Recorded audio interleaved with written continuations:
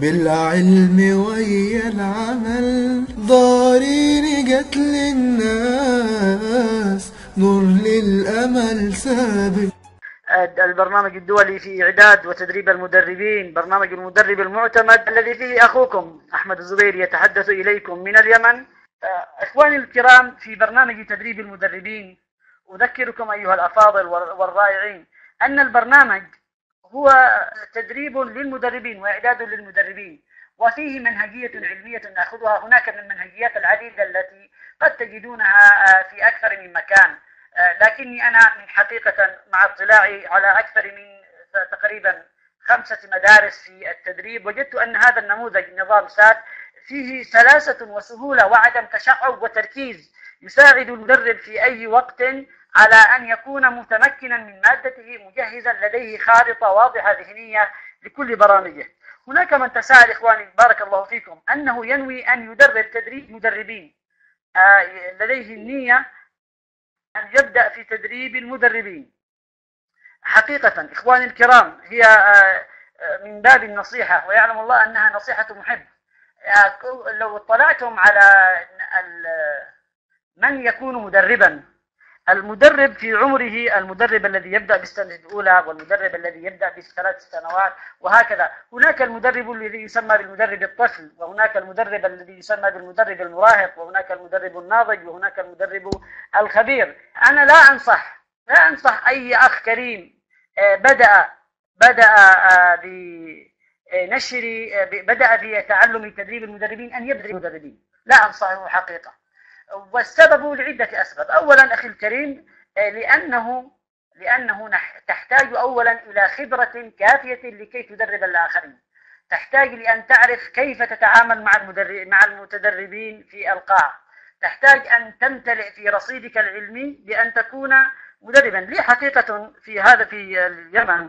هناك بعض الشباب الطموح الرائع المتفاعل الذي مجرد ما تخرج من الثانوية ثم التحق إما بكلية مجتمع خاصة درس الدبلوم أو درس الجامعة فإذا به يحضر دورا لتدريب المدربين أخذ شهادة ثم إذا بك تجده وهو يتحدث على أنه ذلك العملاق التدريبي الذي و لا يبارى في التدريب فذاك أمير التدريب وذاك مايسترو التدريب وذاك عملاق التدريب وذاك خبير التدريب. حقيقة هذا الصعود السريع الذي يطمح الشباب إليه ربما يقع وقعة هائلة. لماذا يفقد الناس مصداقيتهم؟ كذلك إخواني الكرام أنا أتلقى تقريبا في اليوم ما لا يقل عن انتقاد أو انتقادين أو ثلاثة حول مدربية التنمية البشرية. هناك من أصبح يتكلم عن مدربية التنمية البشرية كبائعي الذين يبيعون في الشوارع الذين يبيعون في ما يسمى في الذين يفرشون في الشوارع ويبيعون أو الذين لديهم.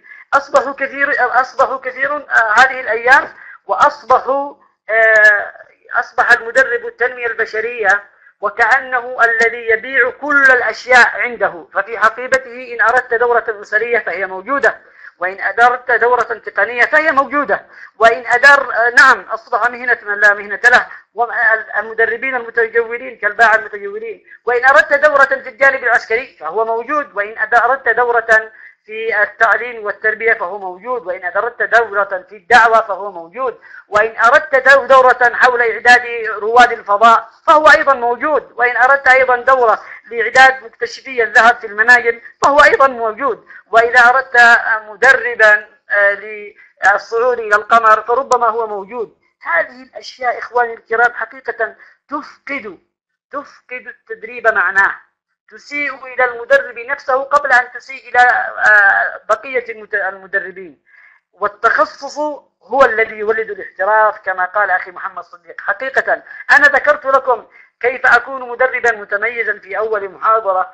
ركزت على التركيز. ركزوا على برنامج تدربوه. تشتغلوا فيه يكون موافقا لتخصصاتكم. ثم لا بأس بعد أن تمروا بخمس سنوات في عالم التدريب بست سنوات أن تبدأوا في تدريب المدربين. وأفضل أن تكون ثمان سنوات حتى تصير إلى مرحلة المدرب الناضج. قد اكتسبت من الحياة. والله يا إخوتي الكرام يعلم الله أني أتعلم في كل يوم في كل يوم معلومة. وفي كل يوم أقرأ أشياء جديدة. تمنيت لو أني تعلمتها في أول السنوات في التدريب ولكن هذه الحقيقة لا في أحد. هي مع الأيام تأتي مع الأيام تأتينا إخواني الكرام. لذلك لا تستعجلوا. آه الذي يصعد الدرجة خطوة السلم خطوة خطوة درجة درجة هو الذي يصل إلى النجاح وهو واثق الخطوة. أما ذلك الذي يقفز فربما لو وقع لكانت وقعته مضرة به تسقطه في عالم التدريب ثم لا يستمر. فلذلك إخوتي الكرام بعضكم قد يحترف التدريب أنا أشجع هذا. بعضكم آه قد يستجيل في التدريب في جانب عمله فقط فهذا أيضا أتمنى له أن يستمر في عالم التدريب وألا يتركه. لكن لا تستعجلوا ولا تتعجلوا أن تكونوا مدربي للمدربين. انتظروا حتى تتمكنوا في التدريب وتعرفوا عالم التدريب وتعرفوا, وتعرفوا كيف تتعاملوا مع المتدربين. ومن ثم ستأتيكم بإذن الله انطلاقة رائعة وتنطلقوا بإذن الله انطلاقة تساعدكم على التميز. آه هذه ما أردت أن أنبه لكم ومع ذلك سنظل على تواصل حتى بعد انتهاء الدورة من أراد شيئا. وأنا حقيقة لدي من المفاجآت ما أريد أن أكلمكم به. آه نحن في منظمة متطوعون من أجل المستقبل هنا. آه ننوي عمل آه أو إنشاء شبكة عربية شبكة عربية في لمدربي العمل التطوعي. نريد أن نكون شبكة عربية في العمل لمدربي العمل التطوعي عبر المنظمة. هذا المشروع هو مشروع عربي أسعى للتنسيق به مع عدة جهات. ونحن الآن في إطار الإعداد. نعم بإذن الله كل من سيكون في هذه الدورة هي كمكافأة مني وتحفيز لكم. ستكونون بإذن الله من الأوائل في الشبكة هذه الشبكة العربية لتدريب مدربي العمل التطوعي. بإذن الله سوف يكون لنا عدة فعاليات وبإذن الله حتى بالإمكان أن تقام فعاليات في كل بلد عربي وبالإمكان أن يكون هناك فعالية واحدة بالأخير تجمعنا ومن يتفاعل مع هذا البرنامج. بإذن الله المهندس فاضل مشترك في برنامج الكورت. بإذن الله. حقيقة إخواني إخوان إخوتي الأحبة الكرام آه هذه من الأشياء التي أقول لكم أنها لن لن ينتهي تواصلنا بعد هذا البرنامج. ولن يكون هناك انقطاع بإذن الله سوف نتبادل الخبرات. وحقيقة كلما أنفق الإنسان من علمه كلما زاده الله علما. والعلم كلما أنفقت منه زاد. هذه من مزايا العلم سبحان الله. إخوتي الكرام قبل أن أدخل أيضا حول البرنامج آه كل من أرسل لي لأشكر كل من أرسل إلي آه جدول تحليل الوظائف ابتداء بأخي العمراوي وانتهاء بأخي محمد صديق الذي اطلعت على الإيميل قبل قليل ووجدته أرسل إلي التحليل. وصلت إلي حتى الآن ما يقارب فقط خمسة خمسة جداول للتحليل. أنا أحاول أن أفتش الإيميل وأفتش الرسائل في الفيسبوك حتى أجد من أرسل إلي ومن لم يرسل. فبإذن الله إخوتي الكرام من أرسلوا هناك كان جهد طيب رائع. أه وجدت أه نماذج أرسلت رائعة وكان من ضمن النماذج الرائعة التي أرسلت إلي. أه الأخت الفاضلة أرسل أتذكر اسمها أرسلت إلي تحليل لثلاث وظائف. تحليل لثلاث وظائف كان تحليلها رائع جدا أعجبت به. ما شاء الله تبارك الله كانت مبدعة أتذكر اسمها. الأخت الأستاذة آمال الأستاذة آمال نعم. آمال مراجع اسمها هكذا صحيح. الأستاذة آمال عموما أشكرك كان تحليلك رائعا بارك الله فيك تميزت في التحليل. كل الإخوة الأفاضل أيضا الذين شاركوا في التمرين مثلا لدي الأخ من البرنامج علق عندي. عموما سأذكر الأخ العمراوي. هناك من أرسل لي ولم يكتب أنه الذي قام في التحليل رغم أني قلت لكم أن الذي يكتب التحليل يكتب اسمه ويكتب نوع الإدارة التي تحللها فيها الوظائف. هذا كان المطلوب. فبعضكم ما كتب اسمه.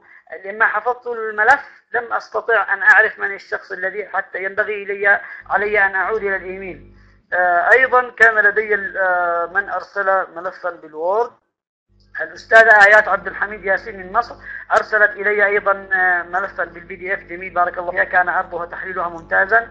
أيضا لدي الأخ محمد صديق والأخ العمراوي قد ذكرته سابقا والأخ الرائع ربما لم تكتبوا أسماءكم. كان هناك نموذج الذي قام به الأخ العمراوي فربما وقعتم كلكم أنكم لم تكتبوا الأسماء. بارك الله فيكم.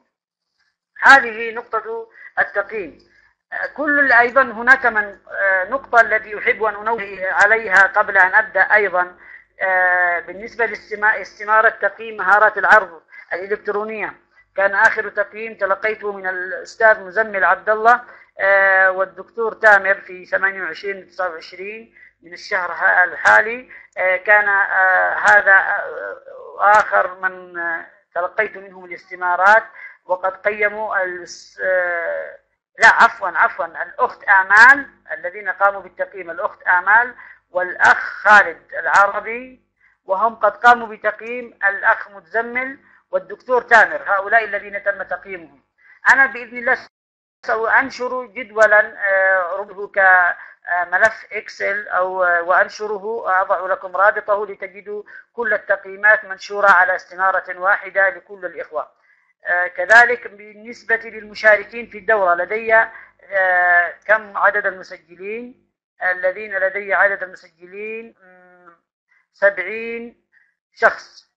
سبعين شخص الذين بعثوا إلي باستمارة التسجيل هذا بالنسبة لي ليس الذين سجلوا لدى الأكاديمية في موقع الأكاديمية الذين سجلوا فقط. بالنسبة لمن سجلوا في آه، بيانات المشاركين في دورة تدريب المدربين عندي 70 شخص. كان آخرهم آه، أخي الفاضل المهندس تامر محمود عبد الغني الذي تشرفت بالتعرف عليه وهو من مصر وفي شركة المقاولون العرب مهندس. وأخي الفاضل حمامي وهو أيضا آه، تخصص علوم إحصاء رياضي مدرس وهو من سوريا من مدينة اللاذقية. وقبلهم أخي مزمل والمدرب أكرم الفرجاني. هؤلاء آخر الأخوة الذين سجلوا بالنسبة في استماع في استمارة في بيانات المشاركين. أما الاستبيان حول سير البرنامج التدريبي شكرا لتفاعلكم أجمعين. آه، كانت آه، آخر الأخوات الأستاذة هبة العباسي والمهندس فضل والأستاذة آيات عبد الحميد والأستاذة هاجر النجار. هؤلاء كانوا آخر الأشخاص الذين في معنا شكرا لكم أجمعين. أنا حقيقة أثني على كل من شارك وتفاعل معنا. إخوتي الأحبة الكرام بالنسبة لتحليل الاحتياج التدريبي سوف أرفع لكم بإذن الله. خلال الأيام القادمة ليس قريبا ربما خلال الأيام القادمة آه، حين تجهزون مشروعكم النهائي كمشروع تخرج من دورة تدريب المدربين ستقومون. هذه الواجبات التي قمتم فيها الآن الأنشطة هي للتعليم والتدريب حتى تتلقوا ملاحظات عليها. سوف ننشر الملاحظات بشكل عام على الجميع أو نذكرها في المحاضرات. أما بالنسبة آه، ل آه، كمواد سأرفع لكم بعض المراجع بعض الأمور الطيبة بإذن الله. أيضا بالنسبة للأخ محمد سعيد أحمد. أخي محمد سعيد أحمد من أين؟ أخي محمد سعيد أحمد هل سجلت معنا في مشاركين؟ من مصر ما شاء الله بارك تبارك الله. أخي الكريم يبدو أن اسمك لم يتس... لم يسجل عندنا. بإذن الله آه، قد تسجل. هناك روابط مذكورة في مجموعة الفيسبوك. باستطاعتك أن تسجل. بارك الله فيك. أنا أجدك اليوم لأول مرة. أهلا وسهلا بك بارك الله فيك. أنا سأرفع. أنا سأرفع آه، فيديو لكن حقيقة إخواني الكرام خلال الأسبوع هذا خلال اليومين السابقين شغلت كثيرا. يعني أحاضر أحيانا في الصباح وأصل ثم آتي إليكم. أيضا كهرباء خلال الأيام الماضية يوم الأحد الماضي كانت آه، تعرضت لظروف. نعم سوف أسجل هذا الشيء وهو من باب أننا حين نبدأ في المرحلة الأخيرة أكون قد رفعته وقد شاهدتموه من باب أن تراجعوا قبل العرض النهائي قبل أن تقوموا بتسجيل العرض النهائي الذي بموجبه للإخوة الأفاضل الشباب الذكور الرجال الذين سوف يقيموا. وكذلك ربما أعتمد آه، طريقة لتدريب لتقييم النساء ربما أطلب من الإخوات الأفاضلات من تساعد في تقييم الأخوات. وهذه الآلية سوف نقيمها لأنه لا بد من تقييم بعض الأخوات آه الذين يريدون الشهادات الدولية من عندي. الذين يريدون الشهادات الدولية الممنوحة من لدينا وسوف نتكلم عنها. معه السليق والمندي. وما هو السليق والمندي أخي محمد سعيد؟ هي هل هي أكلة معينة؟ ومعاه السليق والمندي الأكل اليمني. يبدو أنك قلت تقصد بها السلتة أو الحلبة نعم السلتة التي تقصدها. نعم. إذا يبدو لي أنك زرت اليمن أخي محمد. اسمك على فكرة اسم يمني متداول اسم شهير محمد سعيد أحمد هو اسم يمني بامتياز. بارك الله فيك. تشرفت آه، بمعرفتك وبكل الإخوة الأفاضل. اليوم إخوتي الأفاضل الكارم آه، سوف أدخل بالنسبة لموضوع اليوم. موضوعنا اليوم في سوف ندخل في المرحلة الثانية آه، من مراحل التدريب من مراحل نظام SAT system approach training تكلمنا حول التاء الأولى التي هي التحليل وسوف نتكلم اليوم حول التاء الثانية التي هي التطوير آه، وبالتالي آه، ندخل في ثاني محور من المحاور في نظام SAT. في نهاية البرنامج التدريبي سوف يكون بإمكانكم تصميم أهداف التدريب سوف يكون المشارك في نهاية المحاضرة. تستطيعون تصميم أهداف التدريب بناء على المعايير المحددة ووفق احتياجات التدريبية المطلوبة قبل تصميم البرنامج التدريبي. سوف أتكلم حول هذا الهدف حين ندخل آه، إلى الموضوع. تحديد وسائل وأشكال القياس المطلوبة لتح... آه، بعد للتأكد من تحقيق الأهداف التدريبية المحددة. أيضا سوف يكون بإمكانكم بارك الله فيكم القدرة على تصميم برنامج يخاطب الشريحة المستهدفة. لدينا اليوم عدد من الأنشطة والتمارين بإذن الله سوف نحاول أن نسير بها سريعا بحيث نختصر آه، الوقت بدون إخلال بموضوعنا الأساسي وبدون الإخلال بالمعنى. إخوتي الكرام أذكركم آه، بأننا لدينا أسلوب النظام سات. آه، والتاءات الخمس أو إيدي بالنسبة للمصطلحات بالإنجليزية سميناها التاءات الخمس وسميناها هنا إيدي. هذه هذه النماذج آه، كل شيء كل شيء ماتريال المحاضرات السابقة هي أنا كل هذه المواد أنشوها أرفعها على الفورشير والأستاذ الفاضل والإخوة الأفاضل في الدعم الفني هم يقومون أيضا بإنشاء روابط خاصة على بعض المواقع التي ترفع. هذه ما يوجد لديكم هنا. ما هذه هي المادة التي تسلم لكل المتدربين في مادة تدريب المدربين. هذه هي المادة التي تسلمها العروض هي التي تسلم للإخوة. وبإمكانكم إذا أردتم لو بحثتم في العام جوجل ستجدون الكثير من الأشياء الفاضلة التي في حول تدريب المدربين حول أي موضوع أو جزئية. هي ليست فكرا على أحد وليست أيضا آه، موضوعا محتكرا ستجدون إذا أردتم مراجع ستجدون فيها الكثير. وحقيقة أن لدي مراجع كتب هنا حول التدريب لكبار المدربين العرب وكتب قديمة نشرت في الثمانينات آه، وهي كتب لمدربين في الغالب أنهم مصريون. آه، الإخوة المصريين ما شاء الله مبدعين في التدريب بارك الله فيهم متميزون في هذا الجانب. فهناك كتب رائعة ومراجع كبيرة لا أدري هل هي مرفوعة على الإنترنت أم لا. لكن بالإمكان البحث عنها. لا هي لا هي ليست soft copy هي ليست نسخ إلكترونية وإنما كتب hard آه، ورقية موجودة لدينا. ال material المحاضرات السابقة كل شيء مرفوع. الآن بإذن الله أنا سوف أنشر لكم. أعطيكم اليوم هدية. ستكون لديكم هدية بانتظاركم في نهاية البرنامج. سيكون لديكم أيضا العرض الذي ترونه الآن على الشاشة. في هذا النظام إخواني الكرام أذكركم بعملية نحن نقوم بها في منهجيتنا في التدريب قلت لكم في البداية أن مرحلة التحليل سوف يكون لدينا منها مخرجات سمينا المخرجات في مرحلة التحليل ماذا؟ من يقول لي ما هي مخرجات مرحلة التحليل؟ مخرجاتها ماذا؟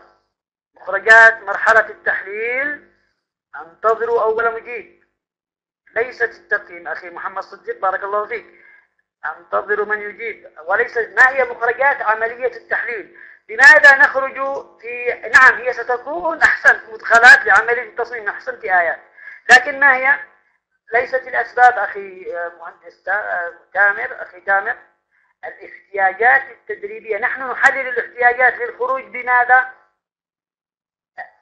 نخرج بشيء مهم جدا. شرحته في المحاضرة السابقة.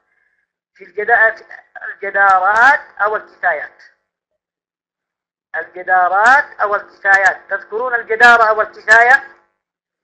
نحن نقوم بإشباعها. نعم نقوم بإشباعها من خلال التدريب. جميل. نخرج بجدارة أو آه، سميناها كفاية. هذه الجدارة أو الكفاية أو المهارة المطلوبة سوف نقوم تكون عبارة عن مدخل لمرحلة التصميم فنكون في مرحلة التصميم نخرج بماذا؟ بهدف نخرج بالأهداف. فإذا آه، سوف تكون معنا مدخلات مرحلة التحليل تحليل للوظيفة المهام والتوصيف الوظيفي. نخرج فيها بجدارة. الجدارة تكون مدخل لمرحلة التصميم. آه، نخرج بعد مرحلة التصميم تكون مخرج مرحلة التصميم ألا وهي الأهداف. الأهداف التدريبية. وخلال صياغة الأهداف التدريبية سوف نحدد مسبقا كيف سنقيمها. سوف نتكلم عن وسائل القياس في مرحلة آه، التقييم. نحددها حين نصيغ الأهداف.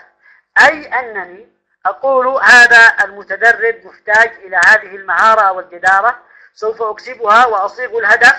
من خلال الهدف سأعرف بعد إكمال البرنامج التدريبي هل نجحت في إكسابه المهارة. هل نجحت في أني آه، حققت هدفي من البرنامج؟ هذه هي النقطة المهمة. أهلا بك يا بتول وعليك السلام ورحمة الله وبركاته. وسوف يكون مخرج مرحلة التصميم مدخل للتطوير. سوف نتكلم أيضا في مرحلة التصميم. آه، من سأخاطب؟ ما هي الشرائح التي سأخاطبها؟ وبالتالي سوف أحاول أن آه، أتمكن من مخاطبة كل الشرائح التي ستكون أمامي أم لا. دعوني الآن أدخل إلى الموضوع. الحناوي مضطر للمدر بارك الله فيه. آه، أخي الحناوي يبدو أنك مشغول خلال هذه الأيام. ربنا يعينك ويوفقك يا رب. انظروا إلى الستة ال six Ps. ال six P الباءات الست. الباءات الست. ما هي الباءات الست؟ تعز أعزك الله أنت أيضا أخي أحمد الحناوي. Proper preparation and practice prevent poor performance. هذه الباءات الست إخواني الكرام في الإنجليزية آه، هي ما تعني إعداد سليم وممارسة يمنعان الأداء الضعيف هذه لحكيم التدريب ما اسمه الأمريكي ذكرها نسيت اسمه الآن. هو ذكرها أحد الخبراء التدريب الأمريكيين آه، ما يقول ال proper preparation and practice poor performance فهذه مهمة جدا إخواني الكرام. تتكلم هذه الست عن الإعداد ينبغي الإعداد السليم وليس الإعداد السريع أو الإعداد ما يسمى إعداد الطوارئ. كذلك أيضا الممارسة قبل التدريب يساعدانك على أن يكون أدائك متمي... أداؤك متميزا بعيدا عن الضعف وما يعتري. أداء المدربين من أشياء ضعيفة إخواني الكرام الآن إلى برنامجنا آه الإعداد دليل صدق وجدية عند المحاضر والخطيب والمدرب الذين يحاضرون أحيانا لدينا ما شاء الله نحن كما يقال آه عاوزين محاضرة أنا جاهز. أي موضوع أنا جاهز. وربما يكون الإنسان آه، مستعدين بهذا الشيء أو الخطيب مجهز. لكن أحيانا إخواني يحتاج حتى هذين الشخصين آه إلى إعداد وإعداد مركز جدا. ماذا سأقول؟ ومتى سأقول؟ وكيف سأقول؟ وكيف ستأكد أن ما قلته قد وصل إلى المتدربين أو إلى المستمعين؟ إخواني الكرام يعني اليوم بالذات كنت في تدريب لبعض أفراد آه، الجيش والقوات المسلحة لدينا هنا في اليمن. فأثناء التدريب كنت أعالج موضوع مهم جدا هو موجود بشكل كبير. لكن ما يهمني في هذه الموضوع أن أنهم قالوا ريت يا ليت أن الإخوة هنا في التوجيه المعنوي يكونون يحبون لنا آه، من هؤلاء المدربين الذين لديهم هذه القدرة في أنهم يجعلون نستمع لهم ونستفيد منهم دون ملل. هناك في الغالب يعطونهم في المناطق في التوجيه المعنوي يعطوهم محاضرين. هؤلاء المحاضرون إخواني الكرام يأتون ويلقون أذانهم بشكل روتين عادي ويقومون بسرد المعلومات على آذان المستمعين مما يصيبهم بالملل. حتى أصبحوا لا يأتون إلى المحاضرة إلا بالإلزام. هذه مشكلة حقيقة يعاني منها ليس فقط الجندي أو الضابط في الجيش ولكن أيضا أحيانا في كل الجوانب. فتكلمت اليوم حول الفاعلية وكيف تكون الفاعلية على المدى الاستراتيجي بالنسبة للشخص. كان البرنامج حقيقة مضغوطا ولكنه أيضا خرجوا بأشياء عملية تطبيقية. فرحت كثيرا حتى أن بعضهم كان حينما أنزل بعض الدموع في نهاية المحاضرة أو البرنامج القصير إلا أن هذا كان دليل على أنهم بدأوا يتحركون بدأت تتحرك لديهم كثير من الأمور الراكدة. إخواني الكرام لولا الإعداد ما كان الأداء قويا. ودائما حينما يمد مدرب اعلموا يا إخواني الكرام بارك الله فيكم أن ما يمدحون فينا ستر الله. إنما يمدح فينا ستر الله وفضل الله وما أعطنا الله سبحانه وتعالى. نريد هذه المحاضرة محمد صديق. حاضر عيوني. بإذن الله في أي وقت آه، نجد وقتا بعد هذا البرنامج. نقوم بإلقائها لديكم بإذن الله حول البرنامج. الفاعلية بإذن الله. الله سبحانه وتعالى يقول ولو أرادوا الخروج لأعدوا له عدة. والتجويد والإحسان في الإعداد إخواني الكرام هما أساس الامتحان. أين الامتحان؟ الامتحان في قول الله سبحانه وتعالى ليبلوكم ليمتحنكم ليختبركم أيكم أحسن عملا. لا يكفي أنك تقوم بإلقاء المحاضرة وتقول أديت اللي علي وخلاص. أنا إنما بلغت إنما أنا نذير. فمن شاء فليؤمن ومن شاء فليكفر. هذا هذا الأمر لا يصح إخواني الكرام. ينبغي أن تعد ينبغي أن تأخذ في بالك كيف تؤثر في الآخرين آه، وكيف تدعوهم إلى ما تريد. الرسول صلى الله عليه وسلم ما ترك من وسيلة ما ترك وسيلة بالنسبة للدعوة إلى الله إلا ومارسها حتى المصارعة. حتى مصارعة من كان مصارعا فإذا غلبه أي تسلم فكان هذه من النقاط التي مارسها الرسول صلى الله عليه وسلم في أساليب الدعوة إلى الله سبحانه وتعالى. النتائج بينة بمقدماتها ويقول عطية سالم من لم يبالي بالإعداد لن يسلم من الفشل وكانت العرب تقول قبل الرماء تملأ الكنائم قبل الرماء تملأ الكنائم. أهلا آه، بك ناهلة أهلا وعليكم السلام ورحمة الله وبركاته لكل الإخوة والأفاضل الذين يشرفونا آه، ما زال العدد أخي إخوتي الكرام أنا ألاحظ أني الآن الذين أصبحت أعرفهم من البرنامج التدريبي تقريبا خلال الثمان المحاضرات السابقة المحاضرات السابقة هم آه، تقريبا بحدود الخمسة عشر فردا يبدو لي الذين أجدهم باستمرار معي. هناك من يستمع إلى تسجيل المحاضرة ويتابع. هم أيضا يعطيني إشارة أني غبت ولم أستطع الحضور لكني استمعت إلى المحاضرة وقمت بأداء الواجب. هؤلاء الأشخاص أيضا موجودون. أنا أحاول أن أسجل لكل شخص وأتابع كل شخص كل بمدى اهتمامه بهذا الجانب. إخواني الكرام الآن الآن آه، بالنسبة لموضوع آه، ندخل في موضوعنا مرحلة الإعداد. هناك لدي مش في موضوع مرتبط بمرحلة الإعداد ومرتبط أيضا بمرحلة التحليل. أنا من سأدرب؟ من هم الأشخاص الموجود الذين سوف أقابلهم وأتحدث إليهم وأدربهم؟ تذكرون في أول يوم في المحاضرة هنا حرصت حرصا تاما على أن أتعرف عليكم. أتعرف على كل المتدربين. ينبغي عليك أن تعرف المشاركين الذين سوف يشاركونك في التدريب والتدرب معك. يجب أن تعرف هم من المعلومات المهمة التي من خلالها تستطيع أن تبني قناة للاتصال أو لغة للحوار وأن تستخدم المفردات التي يستوعبونها أن تقيس مدى معرفتهم بهذا الموضوع وإلى أي مدى قد حضروه وإلى أي مدى استوعبوه وما خلفياتهم العلمية وثقافتهم وجنسهم آه، وكذلك أعمارهم. وهل التدريب الذين هل هناك من تدريب قد خاضوه في هذا المجال أم لا؟ هذه نقطة مهمة. اسأل حينما تدعى إلى تدريب ينبغي عليك أن تسأل. من سأدرب ما هم الفئات؟ وإذا استطعت أن تحصل على كشف أو جدول في أسماء المشاركين وبياناتهم فهذا سيكون ممتازا جدا. تستطيع أن تبني من خلاله آه كثير من الأشياء لأنك تعرف الآن الشريحة التي ستقابلها قبل أن تقابلهم. هم سيتفاجؤون أنك تحفظ أسماءهم وأنت في أول يوم من أول مرة تسمع الاسم فأنت تعرف هذا الشخص من هو وتعرفت عليه وتعرفت كيف يقول. آه، حتى نستعد لصلاة العشاء. سوف أطالبكم الآن في الاستراحة. آه، من سيكون معنا سيصلي سيصلي. ثم أطالب الإخوة المتواجدين في الاستراحة أن يرفعوا أيديهم بعد الاستراحة.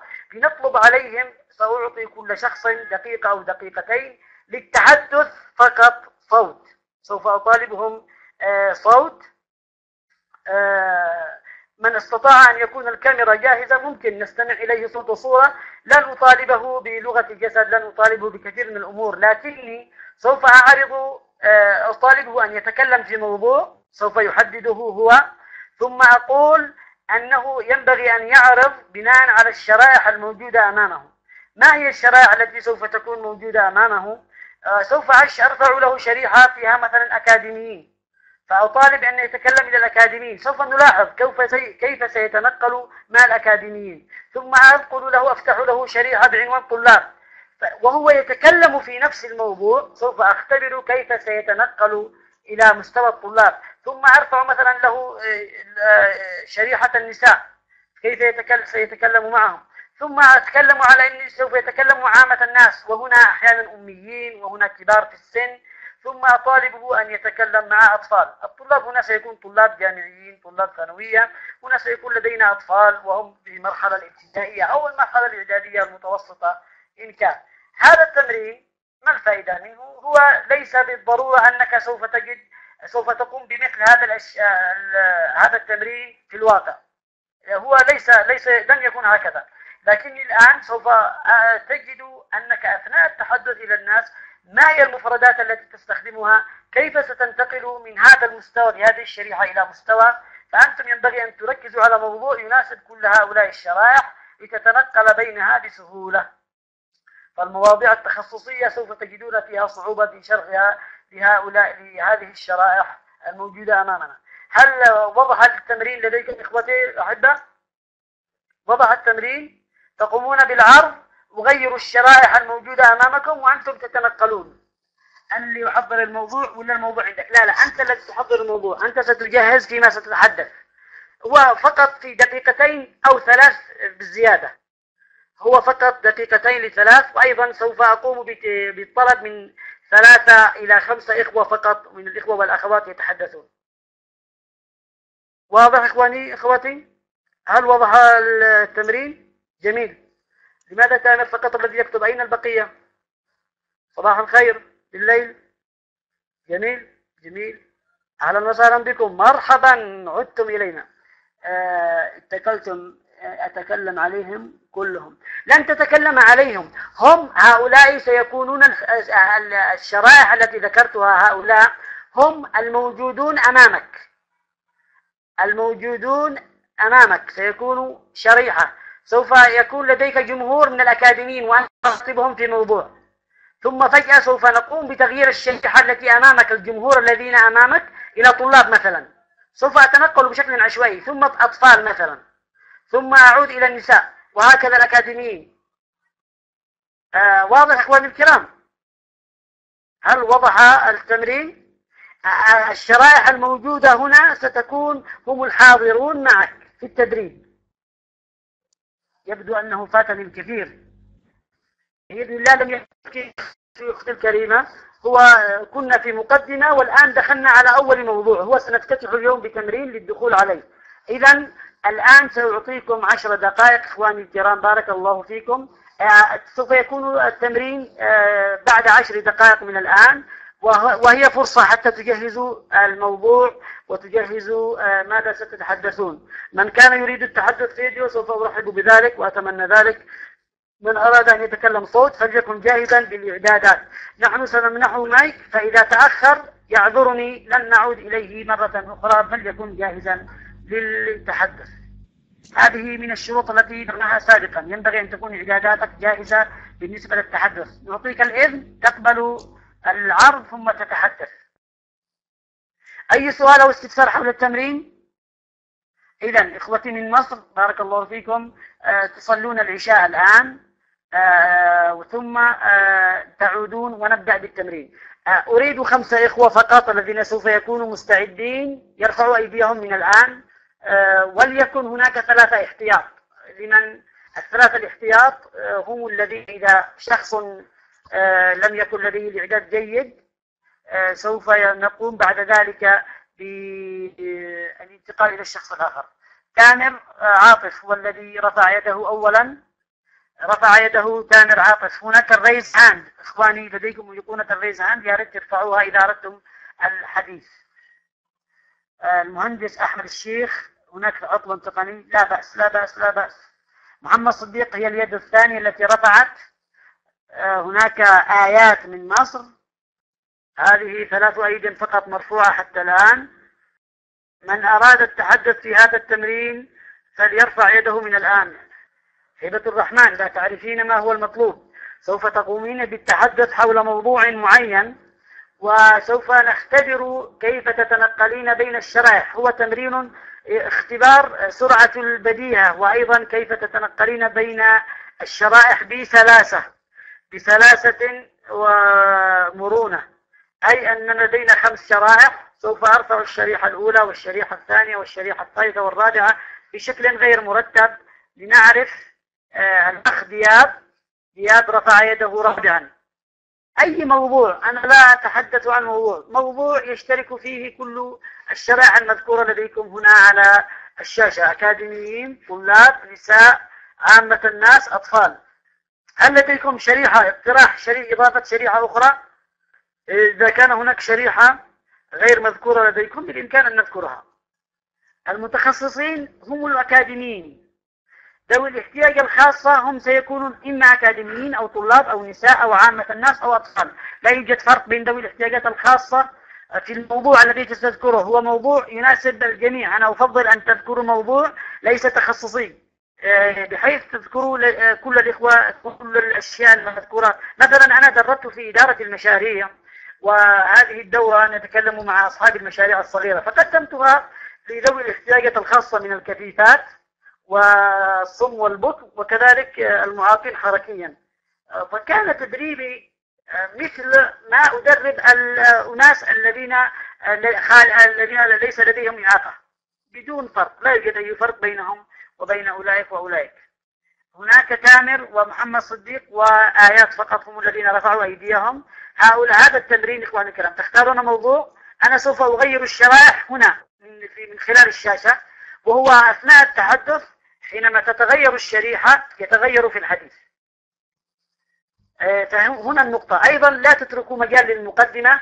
الوقت فقط سيكون ثلاث دقائق بالتحدث وسوف أغير الشرائح. قد تزيد الوقت إلى خمس دقائق على أكثر احتمال. فهي سوف تكون التغيير مفاجئ. هذا التمرين لن يتكرر. هو تمرين هو فقط من أجل اليوم أختي ناهلة. فهو سيكون فقط لليوم. بالإمكان أن تشاركوا في التمارين الأخرى القادمة في الأيام القادمة بإذن الله. التمرين باختصار أن كل واحد منكم هو سوف يتحدث في موضوع يختاره هو. وسوف يكون الحاضرون أمامك. هم من إحدى هذه الشرائح. شريحة أكاديميين أو طلاب أو نساء أو عامة الناس أو أطفال. أو أحيانا سيكون كل كل كل كل الشرائح الموجودة أمامك. ستكون كذلك كلهم موجودون أي أن الشريحة التي لنقول تظهر أمامك هذه الشريحة سوف أقول لك حتى الآن ترون الشريحة الموجودة أمامكم؟ هل ترونها إخواني الكرام؟ نعم. هذه الشريحة حتى الآن تخاطب أكاديمي. ثم فجأة سأنتقل بك إلى شريحة مثلا. أقول لك أنت الآن تخاطب أطفال. ثم أقول لك أنت الآن تخاطب مثلا طلاب طلاب جامعيين مثلا. ثم أقول أنت الآن تخاطب عامة الناس وبالتالي كبار في السن كذلك كان يكون في غير تعلمي إلى آخره. ثم أنت الآن تخاطب مثلا نساء. هذه الشرائح. جميل. الآن هذه الشرائح التي سوف أقدمها أمامكم. الذي سوف يتحدث أو الأخت التي سوف تتحدث سوف يتكلمون بموجب الشريحة الموجودة أمامهم بعد أن حينما تتغير الشريحة التي أمامه ينبغي عليه أن يبدأ آه، بالتحدث مع هذه الشريحة وينتقل وهو يتحدث في نفس الموضوع. لا يغير الموضوع لا يتوقف عن الحديث آه، ويتكلم مع الشريعة بشكل أساسي. مثلا إخواني الكرام سوف أضرب لكم مثلا. آه، أنا الآن سوف أتحدث وأقوم بالتمرين أمامكم. أنا سوف أتحدث أولا بالسبب آه، بسم الله الرحمن الرحيم. إخواني إخوتي إخواني وأخواتي أنا الآن أتحدث معكم حول موضوع مهم ألا وهو موضوع التربية تربية الأبناء أو التعامل مع الأبناء. أنتم آه، كمتخصصون في الجامعة لدينا في تخصصاتكم المعهودة ناس آه، مدرسون لشرائح آه، الطلاب بالتأكيد أن لديكم أطفال تعيشون معهم في في البيت. وبالتالي بالتأكيد أن هناك الكثير من الأشياء التي التي تحبوا أن تفهموها بموجب التعامل مع الأبناء. إخواني الكرام الأفاضل تعرفون أن الله سبحانه وتعالى أولا اختصنا بمزية نحن بني البشر بالعقل وكذلك هناك لدينا التكريم الذي كرمنا الله به. فكل أبنائنا لدينا نعمة من نعم الله سبحانه وتعالى علينا. هذه النعمة ينبغي علينا إخواني الكرام أن نركزها. لذلك أنتم الآن وأثناء دراستكم في الجامعة بالتأكيد أن أغلبكم غير متزوج مثلا. لكن لديك أخ أو لديك أخت البيت أصغر منك؟ لابد أن تستطيعوا لابد أن تستطيعوا أن تتعاملوا معهم التعامل الإيجابي. قد تلاحظون آباءكم وأمهاتكم أثناء التعامل مع إخوتكم الصغار وحين يتعاملون معكم. تربية الأولاد والأبناء هي مهمة شاقة جدا. لا يستطيع أي إنسان أن يبدلها ما لم يكن متهيئا لذلك. وهذه التهيئة ينبغي أن تكون مهمة. لذلك أيها الأحبة الكرام إخواني الأفاضل بارك الله فيكم. نعمة الأبناء هي نعمة. ينبغي أن نعرف أنهم أمانة لدينا من الله سبحانه وتعالى. وكما أننا نريد منهم أن يكونوا مبدعين ويكونوا متميزين في الحياة ومتفوقين. ينبغي عليهم أن يكونوا أيضا آه، ينبغي أن نراعي عندهم أيضا آه، مطالبهم ما هي احتياجاتهم وكيف يحتاجون إلى كثير من الأشياء التي ينبغي علينا أن نركز فيها. ولا أن نطالبهم بأشياء وننسى حقوقهم وننسى ما يريدون من الأمور المهمة. جدا بارك الله فيكم. وأنتم يا أحبابي الكرام مثلا حين بابا وماما يأتون إليكم في البيت ويأمرونكم ببعض الأوامر المهمة هي في مصلحتكم. اعلموا أحبتي يا أحباب الصغار أن, الله أن, أن الأب والأم هم حين حتى يعاقبوكم. إنما يريدون مصالحكم ويريدون أن تكونوا أولادا صالحين ومبدعين صحيح أنهم في بعض الأحيان يكونوا قاسين عليكم. قد يضربك أبوك قد تضربك أمك لكن في الأخير هي مهمة جدا أنك تفهم ماذا يريد أبي مني لماذا يعاملني أبي بهذه الطريقة كيف أنا الآن أقوم بالأمور الصحيحة؟ هل الطفل الصغير ينبغي أن يعيش كالأب كالشخص الكبير أما أن هناك خصائص في هذه المرحلة؟ أنا كطفل لا أقوم بالأشياء التي يقوم بها الكبار وهذه نقطة مهمة بارك الله فيكم يا أحباب الصغار. كذلك آه، أخواتي الفاضلات أنت حين يكون لديك ولد في البيت. أو أخوك الصغير أو ابنك الصغير الطفل الذي أمامك أو ذلك المراهق تريدين أن تتعامل معه التعامل الحسن لا لا تتعصبي ولا تأخذي على التربية على أنها شيء ممل وشيء قاتل. تفكري في أن الله رزقك أولاد ولم يرزق أخريات هناك من تتمنى أن يرزقها الله بولد. تذكري أن هذا الولد هو أمانة عندك. كيف تريدين أن تكون هذه الأمانة جيدة كيف يحاسبك الله؟ الله الرسول كلكم راع والرسول يقول وكلكم مسؤول عن رعيته. لذلك بارك الله فيك ينبغي عليك أن تتحلك بالأخلاق العالية وبالصبر في ترك الأبناء وأن تحتسب الأجر. وإذا كان هناك أي مشكلة كان في الدعاء والدعاء هو مهم. بارك الله فيكم. إخواني الكرام آه هذا هو نموذج. هذا نموذج للتدريب هل وضحت لديكم الفكرة الآن؟ آه، أنتم ستلاحظون أن هناك تنقل لا يعني هو حقيقة أنا حرصت أن يكون التنقل تلقائيا وسلسا آه، وغير متكلم. استطعت إلى ذلك سبيلا. ما زلنا نتعلم مع الأيام. بارك الله فيكم. الآن أريد من كل الإخوة والأفاضل الذين طلبوا أن يتحدثوا في التمرين محمد صديق تفضل. نعم أحييكم إخواني الكرام بتحية الإسلام. ستبدأ بالشريحة عامة الناس. هو مبدئيا أنا هتكلم في الموارد البشرية هل هتنفع مع الأطفال؟ هتحدث في الموارد البشرية الصوت واضح؟ في صوت؟ طيب أنا هتحدث في الموارد البشرية هتنفع مع الأطفال؟ يا أستاذ أحمد ماشي. بسم الله الرحمن الرحيم آه، نعم نعم آه، عفوا صديق أخي محمد صديق آه، الموارد البشرية لم تناسب الأطفال كذلك ما أدري كيف ستناسبها مع عامة الناس جاءوا به والله إحنا. السن آه، فالموضوع تخصصي. هحاول أبسط الموضوع حاول خالص. تبتعد عن التخصصية ما استطعت إلى ذلك سبيلا. هذا اللي أقدر اللي أنا مش معد أوكي الموضوع. إذا ما زلت تريد الموارد البشرية. ماشي. هتبدأ بعامة ما الناس؟ هو الموضوع في الموارد البشرية؟ وظائف إدارة الموارد البشرية. ما هو الموضوع؟ وظائف إدارة الموارد البشرية. وظائف إدارة الموارد البشرية. تفضل تفضل يا محمد صديق. بسم الله الرحمن الرحيم.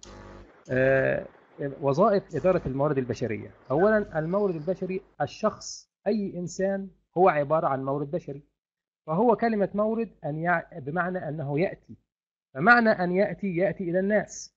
فيأتي شخص إلى شركة معينة أو مكان معين للعمل فهو يسمى مورد بشري. المورد البشري دهوت له طريقة للتعامل داخل الشركات. فيتم داخل الشركات تنمية قدراته بأنهم يعلموه طريقة العمل ويعلموه الالتزام بالنظام اللي تعمل به الشركة. إخواني الأحباء أنتم منشأ وأنتم سوف تصبحون المورد البشري بمعنى أنتم سوف تقوم على أكتافكم الأعمال وأنتم سوف تقومون بالصناعة في هذه الدولة وأنتم اللي هت- هتنهضوا بها وترتقوا بها. فلا بد أن يتم ليكم دراسة من وأنتم أطفال وتأسيس بمعنى أنك تذاكر جيدا وتعمل جيدا وتستذكر دروسك لأنك سوف تصبح لأنك سوف تصبح غدا. أنت من سيقوم بالعمل أنت أنتم من تقومون بالعمل داخل هذه الدولة. فبالتالي لابد أن تلتزم وتعرف كيف تعمل داخل المنظمة. وظائف إدارة الموارد البشرية أن الوظيفة التي كل شخص يقوم بها داخل هذه المؤسسة. من هذه الوظائف التخطيط بمعنى أنهم هم اللي يرسمون جدول العمل ويحددون كيفية العمل وهي أهدافه والنتائج اللي هم لازم أن يصلوا إليها. التخطيط والاستقطاب والاختيار للموارد البشرية هي أحد الوظائف الستة المحددة داخل إدارة الموارد البشرية. فالتخطيط هو الذي يقوم على أساسه تحليل كل عمل وحصر مكوناته وتحديد متطلباته. وهو الذي يحدد ما هو العمل الذي سيقوم به المورد البشري. من أيضا كلمة التخطيط والاستقطاب والاختيار للمورد البشري نجد أنها كلمات رنانة ذات معنى عميق لابد أن نستفهم معنى ذلك المعنى. كلمة تخطيط هو رسم لسياسة رسم لنظام معين داخل المنظمة يحدد طريقة العمل. الأهداف النتائج التكاليف فهذا التخطيط هو الذي سوف ينجح نتائج هذا العمل. كلمة الاستقطاب هي كلمة عميقة. أنا قد أجده أنه لفظ فيزيائي أكثر منه لفظ إداري لأن كلمة الاستقطاب هي كلمة تعني الاستقطاب بمعنى أن أنا آخذ الشخص المناسب الاستقطاب آخذ الشخص المناسب اللي هو يعمل العمل دهوت ويؤديه على خير وجه ويتم اختياره بناء على إمكانياته وعلى قدراته على تأدية هذا العمل. ونقطة أخرى هي نقطة التخصص الذي سوف يؤديه أو يتخصص فيه ليصبح قادر على هذا العمل ويؤدي شكرا شكرا شكرا يا محمد صديق. شكرا أخي الرائع محمد صديق بارك الله فيك. آه، أهلا بك يا جنات. أخي محمد صديق كان الموضوع آه، رائع. ما شاء الله بارك الله فيك. حقوقك رائع. آه، أنا أريد من يريد أن يعلق؟ فليكتب رقم واحد. من يريد أن يعلق حول الموضوع؟ كيف كان تنقل أخونا محمد صديق في موضوعه وظائف الموارد البشرية بين الشرائح؟ من يريد أن يعلق؟ ويعطينا انطباع كيف كان تنقل محمد صديق بين الشرائح. هل كانت الشرائح تتق- تتغير أمامكم؟ سلايدات كانت تتغير. آه، كانت تتغير بالتأكيد أمامكم. جميل. من يريد أن يعلق على أخي آه، محمد صديق؟ أو بال- بالإيمان يكتبه. قال كالديش كالديش آه، اسم كالديش هل أنطقه صحيح؟ كان من الأكاديمي للنساء كنفس النمط. لم نشعر أنه تغير في الخطاب. محمد صديق اختار موضوع مناسب للجميع وهذا ذكاء منه كما يقول أخي آه، محمد يحيى. آه، ناسب الأطفال ما أدري. ناسب الكبار أيضا ما أدري. وهنا كانت النقطة. كان هناك تقول نيدين كانت هناك تتغير. إن تتحدث للأطفال شعرت أنه يتحدث للطلاب كيف ستقول للطفل عن الموارد البشرية؟ هو التحدي الكبير كان هنا أمامه. أنا حقيقة اندهشت حين واصل آه، أراد أن يتحدث واصل تصميمه على التحدث في الموارد البشرية وخصوصا مع الأطفال. أنا استغربت حين أصرنا كان هذا إصراره دليل على ما شاء الله استعداده و أو قوته وقبوله للتحدي. نفسية رائعة أخي محمد صديق. لكن حقيقة وجدت هناك آه، إشكالية في تنقله بين الشرائح. الآن حتى لا نطيل الحديث. عموما أوكي جميلة جميلة تعليقاتكم. آه الآن سوف أنتقل إلى مصر وإلى آيات. آيات هل أنت مستعدة؟ أحسن. السلام عليكم. السلام عليكم. أوكي أختي أختي آيات وعليكم السلام ورحمة الله وبركاته. أول حاجة إن شاء الله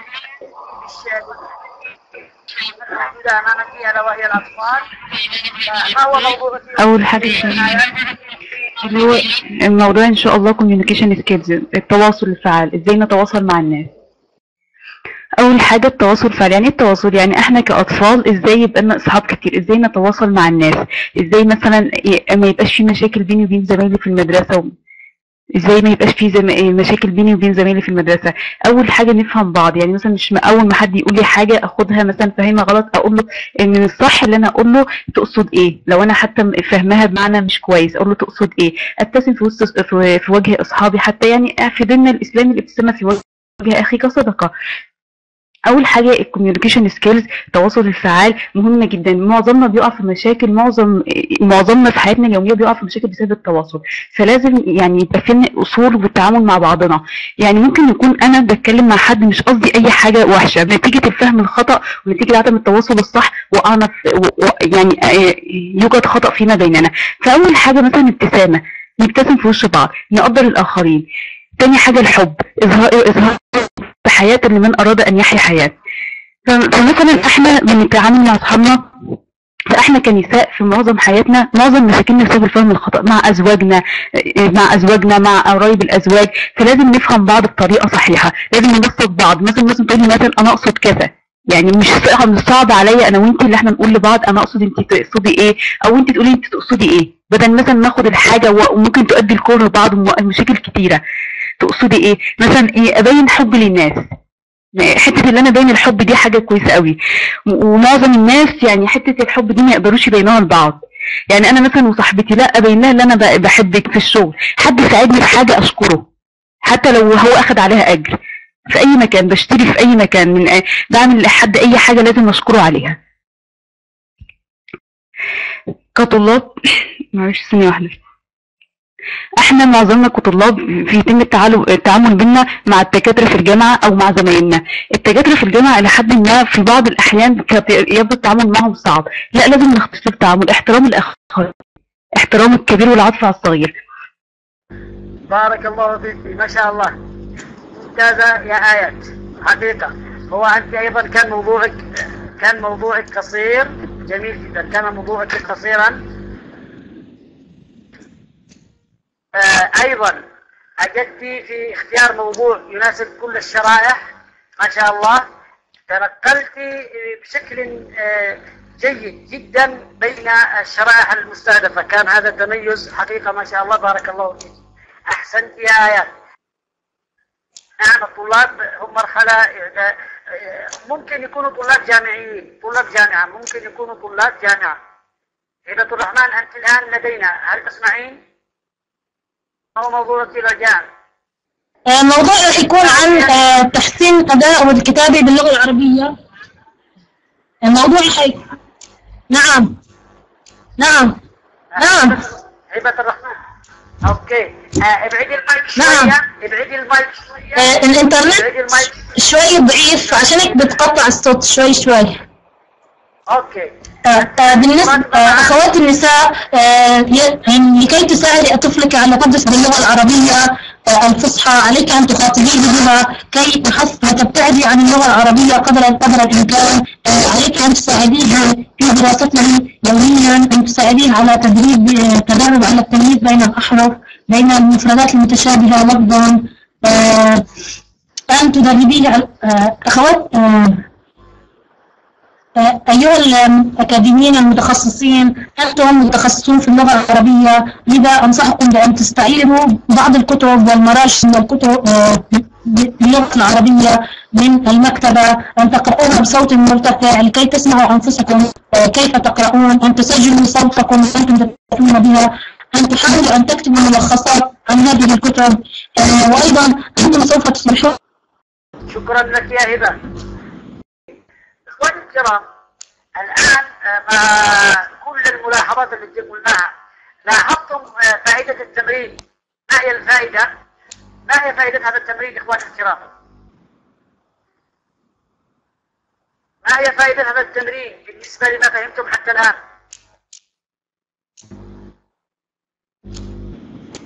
أخي أهلا بأخي علاء الدين حمامي من سوريا من اللاذقية يا أهلا وسهلا فيك في الدورة بارك الله فيك أهلا وسهلا. وإن شاء الله الكهرباء ما بتنقطع عندكم في سوريا تستمر معنا هذا اليوم. أوكي جميل. تحضير الموضوع يا تامر الخاص بأشياء معينة سرعة استحضار الألفاظ المناسبة معرفة التنقل بين المواضيع سرعة البديهية آه، كيف تفرق التعامل مع أنواع المتدربين آه، لكل فئة جمهور طريقة إيصال معينة جميل. سرعة البديهة باستيعاب أحوال المتدربين أحسنتم.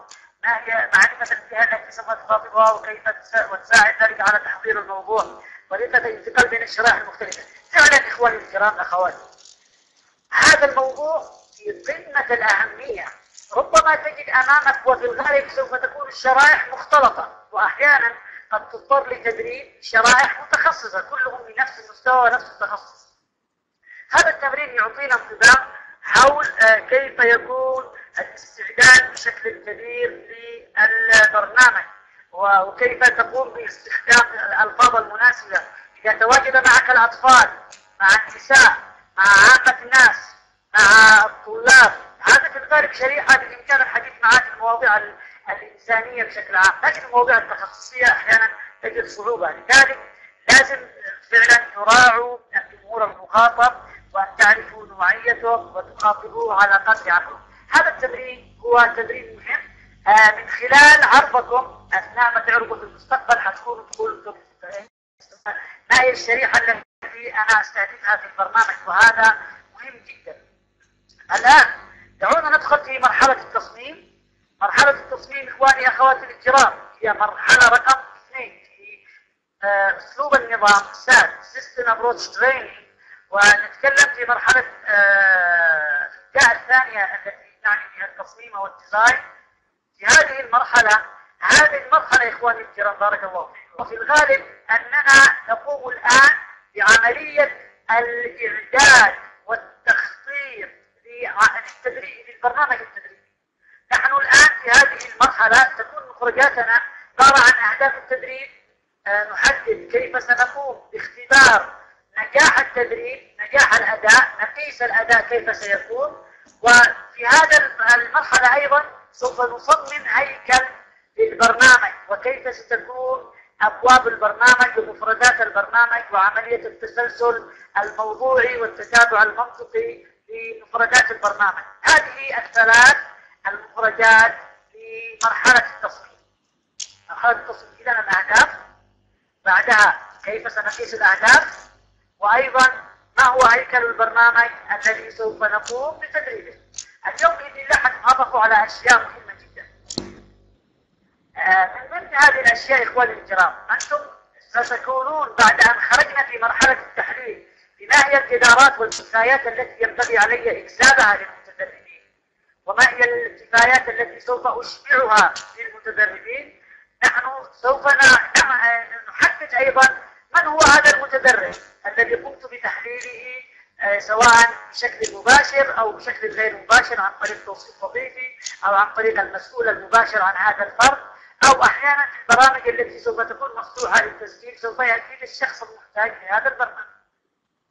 لابد أنك سوف تحدد هذا الشخص الذي سوف تدربه وكيف سيكون البرنامج يحل له إشكاليات معينة أو يكسبه مهارات معينة ويشبه هذه احتياجاته. أهداف التدريب إخواني الكرام في صياغة أهداف التدريب. نحن حين نصيغ أهداف التدريب. ما, ما هي الأشياء التي سوف تساعدنا فيها؟ تساعدنا إخواني الكرام تساعدنا صياغة أهداف التدريب. أولا على اختبار وتصميم محتوى الدورة وموادها وطريقة التدريب. من خلال حين نحدد أهداف التدريب سوف تساعدنا هذه الأمور. حيث نحدد كيف سنختبر محتوى الدورة ونجاحه وكيف سنصمم أيضا المواد أو المفردات البرنامج التدريبي. كذلك إخواني الكرام بالنسبة لأهداف التدريب ستعطينا كمدربين طريقة موضوعية لقياس مخرجات التدريب. ومدى تحقق هذه الأهداف؟ وكيف تحققت هذه الجدارات وأكسبناها للمتدرب؟ وكيف ساعدناه على أن يكتسب هذه المهارات من خلال الأهداف التي حددناها؟ وأيضا إخواني الكرام ونقطة كما ذكرت المدرب ذكرت المدرب هنا سوف نذكر أيضا المتدرب. ينبغي على المتدرب أيضا أن يعرف البرنامج التدريبي. لاحظوا إخواني الكرام في كل يوم تدريبي أنا أعطيكم ما هو هدف هذا اليوم. ما هي الأهداف التي ستكتسبونها؟ وأقول لكم أننا ينبغي أن نبدأ النهاية في أذهاننا. بمعنى أن المتدرب لابد أن يعرف ما هو الأشياء التي سوف أخذه اليوم. مما يساعده هذا المتدرب يساعده إلى تركيز وتنظيم جهده نحو تحقيق هذه الأهداف المرغوبة. في الغالب إخواني الكرام أيضا ركزوا معي على هذه النقطة. نحن نطالب المتدربين الحاضرين آه، آه، معنا في البرنامج التدريبي نطلب منهم ما هي توقعاتكم من هذا البرنامج التدريبي؟ ونقول لهم بسؤال ما هي دوافعكم؟ لماذا حضرتم هذا البرنامج؟ الذي تتوقعون أنكم ستكتسبوه من هذا البرنامج. كل هذه الأسئلة نعطيها للمتدربين من أجل أن يعرفوا آه، ما هي ما نعرف نحن ما هي توقعاتهم ثم نعرض عليهم أهداف البرنامج التدريبي وبالتالي يبدأون بعملية آه، ربط ولينك بين توقعاتهم وبين كذلك أهداف البرنامج التدريبي. هذه هي الأشياء المهمة في قضية صياغة أهداف التدريب. إذا أهداف التدريب إخواني الكرام حقيقة آه، قبل أن أدخل هناك يعني بالنسبة للأهداف أحب أن تركزوا على ما سأقوله الآن. آه، أهداف التدريب في الغالب الذين يعملون في سلك التعليم تدريس في المدارس والذين يعملون في المعاهد وفي الجامعات هم لديهم شيء يقومون بعمله كتحضير. نحن حين نقوم بالإعداد والتحضير نحدد أهداف التعلم أو نحدد أهداف التدريس أو نحدد أهداف التعليم. هذه مهمة جدا إخواني الكرام. نقوم بتحديدها مقدما. وهذه الأهداف من خلالها من خلال صياغتها نحدد ما هو المتوقع من الطالب أو ما سيكون الطالب أو المتدرب قادر على الوصول إليه في نهاية الدرس. في نهاية البرنامج التدريبي في نهاية المحاضرة كيف سيكون المتدرب أو الطالب آه، حاله؟ وكيف سيكتسب من المهارات؟ وما هي المعارف التي سيحصل عليها؟ وما هي المهارات التي سوف يقوم بتطبيقها؟ وكيف سنولد لديه ميول أو وجدانيات أو مشاعر نحو هذا البرنامج سوف نحدده من خلال البرنامج التدريبي؟ مثلا إخواني الكرام أحيانا أعطيكم مثلا مثال لفظي عند نهاية الجلسة التدريبية في محاضرة معينة آه، سوف يكون الطالب قادر على نصب خيمة لشخصين طبقا لمواصفات الشركة المصنعة مستخدما مطرقة ومجرافا وخيمة وسوار وحبال أو أوتاد وحبال. هذه هذا هدف لإكساب برنامج برنامج لإكساب مهارة معينة ألا وهي تركيب خيمة لشخصين وهذا الشخص هو في فريق الكشافة مثلا. هذه الأشياء آه، سؤال كيف يمكن قياس مدى تحقق الأهداف التدريب إذا ما كانت أهدافا سلوكية سوف نتحدث عن هذا الموضوع أختي الفاضلة جدا. الآن أهداف التدريب تصف ما هو متوقع من المتدرب وكيف سيكون من خلال المشاركة. نحن من خلال الهدف نحدد شروط وسلوك ومعايير الأداء المتوقع من المتدرب أو من الطالب. ولدينا بالنسبة للأهداف نريدكم أن تركزوا على هذه النقطة مهمة جدا. جدا ألا وهي أننا سوف نركز على ثلاثة أجزاء أساسية للتدريب. الجزء الأول ألا وهو الفعل. الجزء الثاني ألا وهو المعايير. الجزء الثالث ألا وهي الشروط. إذا لدينا ثلاثة أجزاء. أريدكم أن تركزوا عليها. في الهدف لدينا الفعل أو الأداء الذي سوف يكون. نطلق عليه أحيانا الأداء وأحيانا نطلق عليه الفعل. ولدينا المعايير ولدينا الشروط. ما هو الأداء؟ وما هي المعايير؟ وما هي الشروط؟ هذه الأشياء التي أحب أن تركزوا عليها الآن. بالنسبة للفعل بالنسبة للفعل إخواني أخواتي الكرام هو آه السلوك أو الأداء الذي نطلبه من المتدرب. وهو عبارة عن وصف لفعل سلوكي محدد. مثلا يشرح يحدد يكتب. بعد أن أكمل سوف مثلا دعوني الآن ما هي المفردات التي ينبغي أن لا نستخدمها؟ هناك أفعال سجلوها معكم سجلوها معكم. الأفعال التي لا نستطيع أن نقول أنها أفعال تقاس هي صعبة القياس مع صعبة نوعا ما مثلا من هذه الأفعال آه، أن يعرف الطالب أن يقدر أن يقدر المتدرب أن يفهم المتدرب أن يتمثل فعلا كيف سيتمثل أن يؤمن المتدرب أن يستوعب أن يستمتع يفكر آه، أن يقرر أن يكتشف أن يقيم هذه الأفعال الآن أن يتحدث لمدة دقيقتين بلغة عربية فصحى عن الطقس سنين. هذا هدف رائع ممتاز أختي هبة الرحمن. أن يسمن أن يقدر أن يحس أن يضع في الاعتبار أن يتعامل معه. هذه كلها أفعال لا أستطيع قياسها. هي صعبة القياس إخواني الكرام. آه، وبإمكانها أيضا أن تحدث آه، في عقل المتدرب أو الطالب نوعا من الإشكال. بالإمكان أن يكون لدى المتدرب إخواني الكرام آه، إشكال وإبهام وغموض كيف أفعل ذلك إذا لا يستطيع المتدرب أن يقيس هذا الهدف كما لا يستطيع أيضا المدرب أو المسؤول عن التقييم أن يقيم يعرف يقدر يفهم يؤمن آه، يفكر يستمتع يقرر يثمن يدرك آه، يتعلم يكتشف يقيم يضع في الاعتبار يتعامل معه كل هذه الأفعال ينبغي أن لا تذكر في الهدف التدريبي ما استطعنا إلى ذلك إذا الفعل الفعل والسلوك الملاحظ الذي يجب أن يوصف من خلال أفعال سلوكية وهنا الأفعال مذكورة. يشرح يحدد يكتب آه، يسجل يبني يرسم آه، يرتب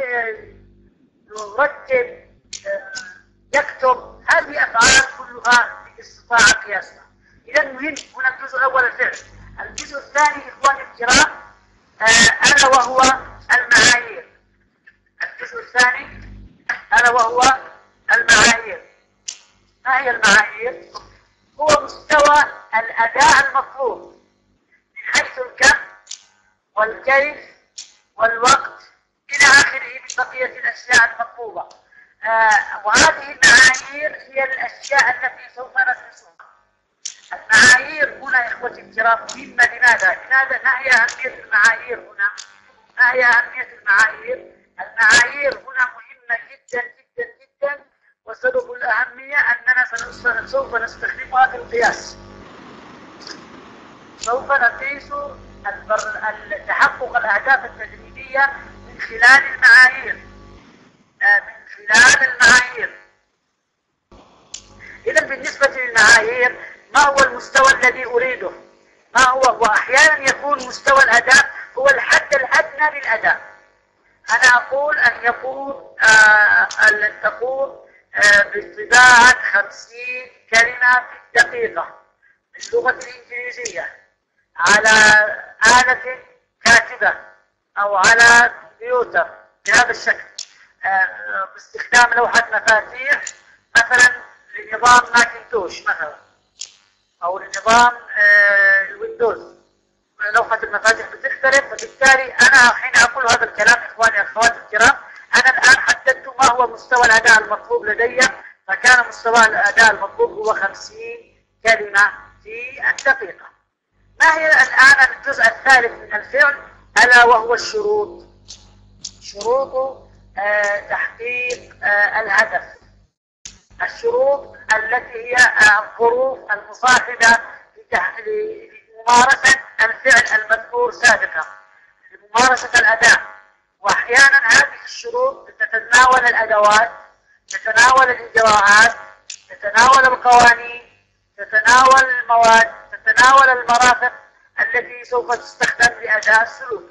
هنا أقول باستخدام آلة طباعة كهربائية باستخدام آه، آلة التصوير هنا أقول باستخدام المقص أو باستخدام المطرقة. أو باستخدام جهاز آه، تلفزيوني أو باستخدام كاميرا فيديو كام أو أي الأداة التي سوف أقولها بالنسبة لتحقيق الأهداف.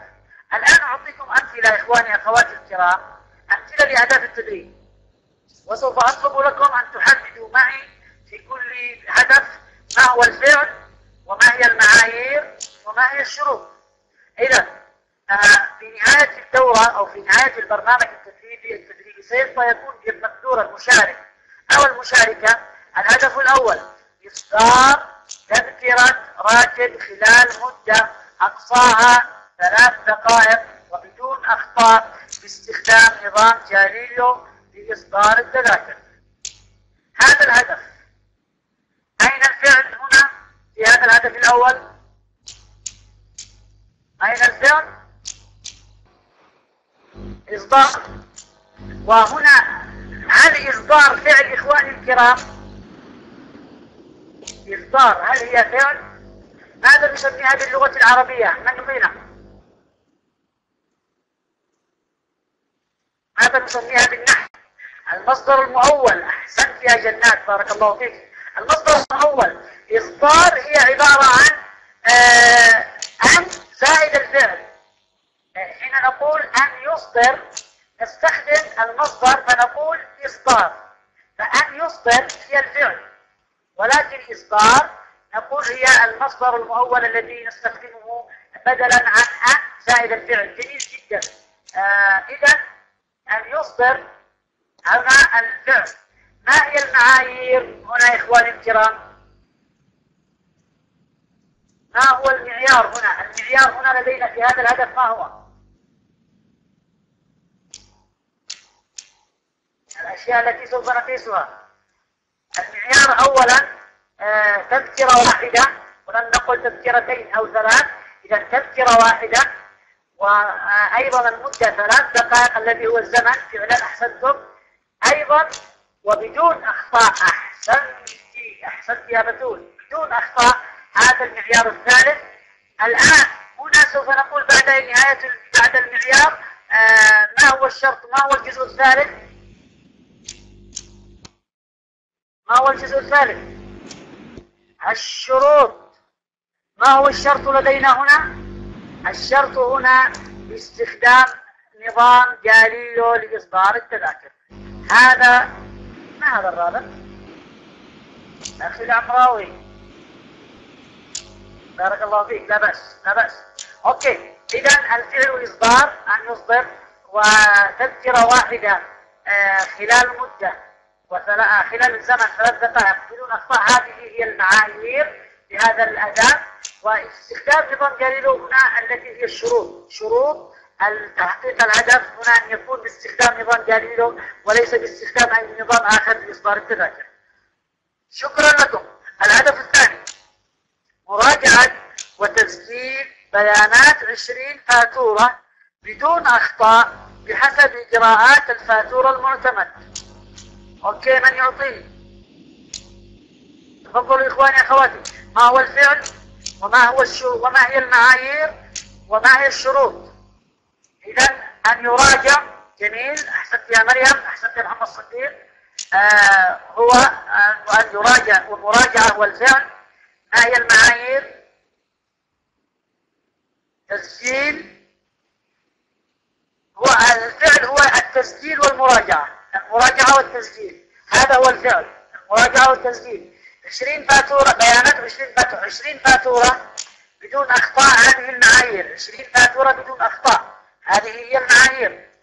ما هي الشروط؟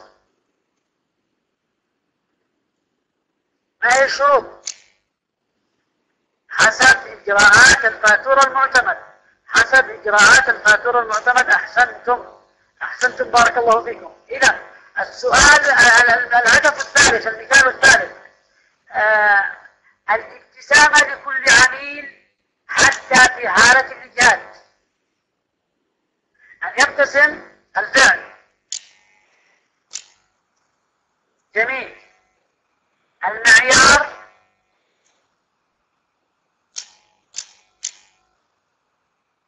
عميل هو المعيار؟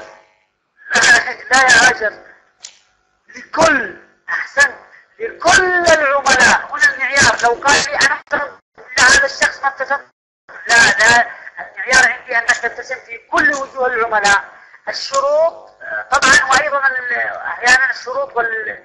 هنا سوف تكون آه، في كل وقت حتى في حالة الاجهاد الشروط هنا في كل الأوقات في كل الأوقات حتى في حالة الإجهاد هنا سوف يكون أحد آه، المعايير في نجاح تحقيق الأهداف والشروط أنك آه، تكون في كل الحالات.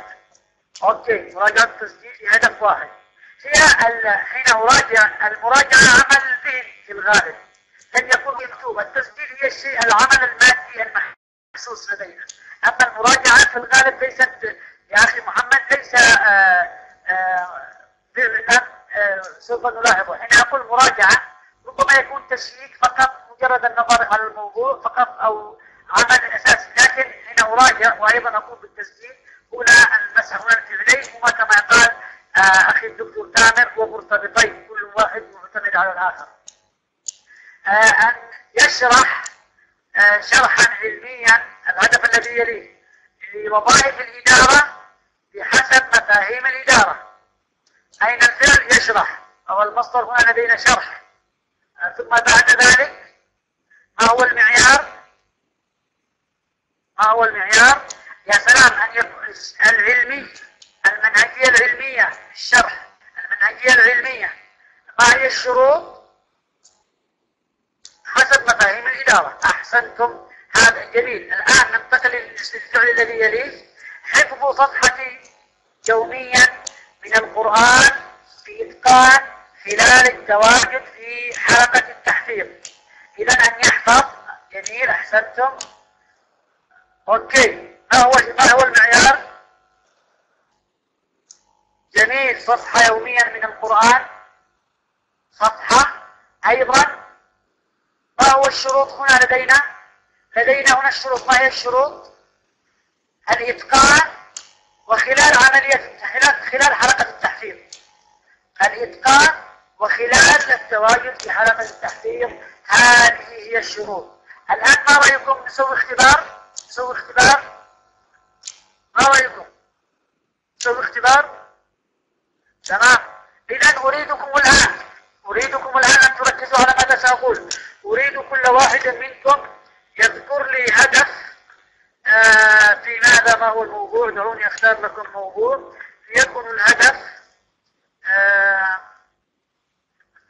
ما هي؟ أقول آه، دعوني أختار لكم موضوع. أريد أن تطلب آه، من آه، وسأبسط الموضوع بحيث كلكم تفهمونه تلميذة عمرها عشر سنوات وأريد أن تركب الدراجة الهوائية. ومستوى الأداء الذي أطلبه ألا تقع عن الدراجة لمسافة 20 متر وأن تركب الدراجة بدون مساعدة آه، كما أن الظروف أو البيئة التي ستكون فيها هي مرج العشب الذي في الح- في- في الحديقة العامة. آه، في حديقة أريدكم أن تصيغوا الهدف بهذه أي اكتبوها على الشات اكتبوها على الشات الآن. تكتبوها على الشات فقط. هي نوعين.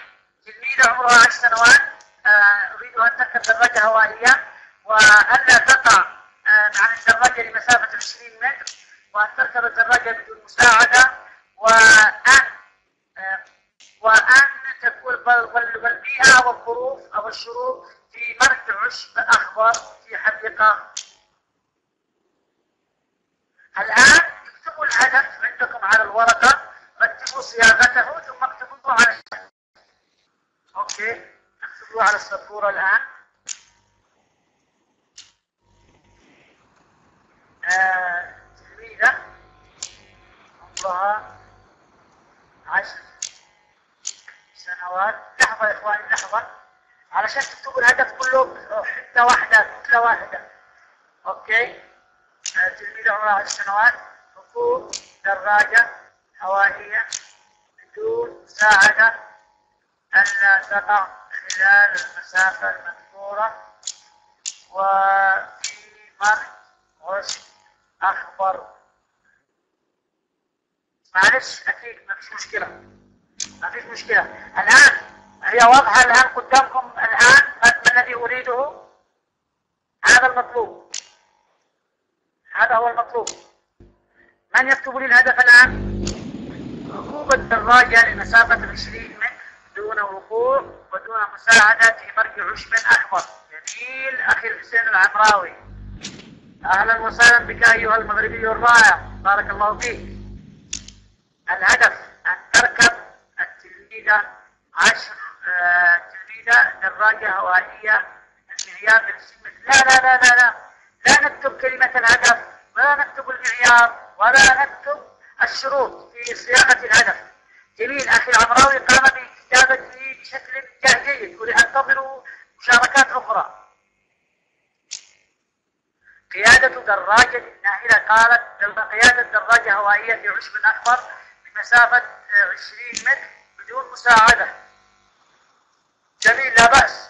هذه يا ناهلة أحسنتي بارك الله فيك شكرا لك. أيضا أريد أن أرى من يكتب. آه، جنات آه، صيغوها على شكل هدف. آه، ركوب أنتم تستخدمون الآن المصدر المؤول.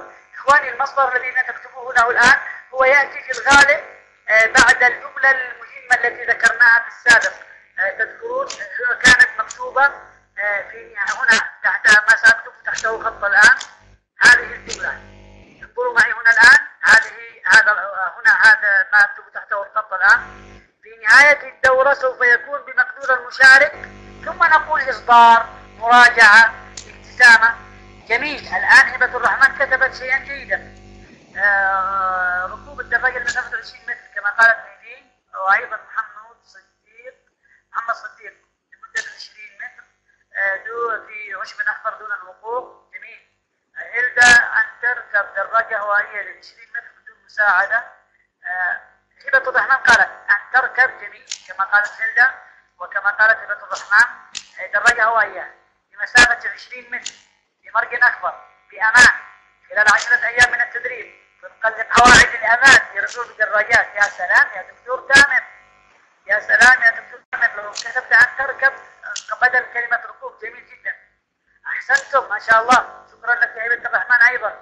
آه هاجر كتبت ركوب دراجة هوائية لمسافة 20 متر دون الوقوع على العشب. أن تركب الدراجة وبدون مساعدة في مركز عشبي ولا تقع لمسافة 20 متر. هو في الغالب كلمة لا تقع. ركزوا معي. كلمة لا تقع هي غير صحيح في استخدام في استخدام الأهداف. هنا نقطة مهمة جدا. بارك الله فيكم. بإمكانكم تتوقفوا عن الكتابة وتستمعون إليه. آه، استخدام كلمة لا مع الفعل هذا الهدف هو نسميه هدف سلبي. آه، هدف غير إيجابي. وأقصد بالهدف السلبي الهدف المنفي وقلت لكم في البداية آه، لا بأس أهلا يا سوما أهلا يا أسماء أهلا يا أسماء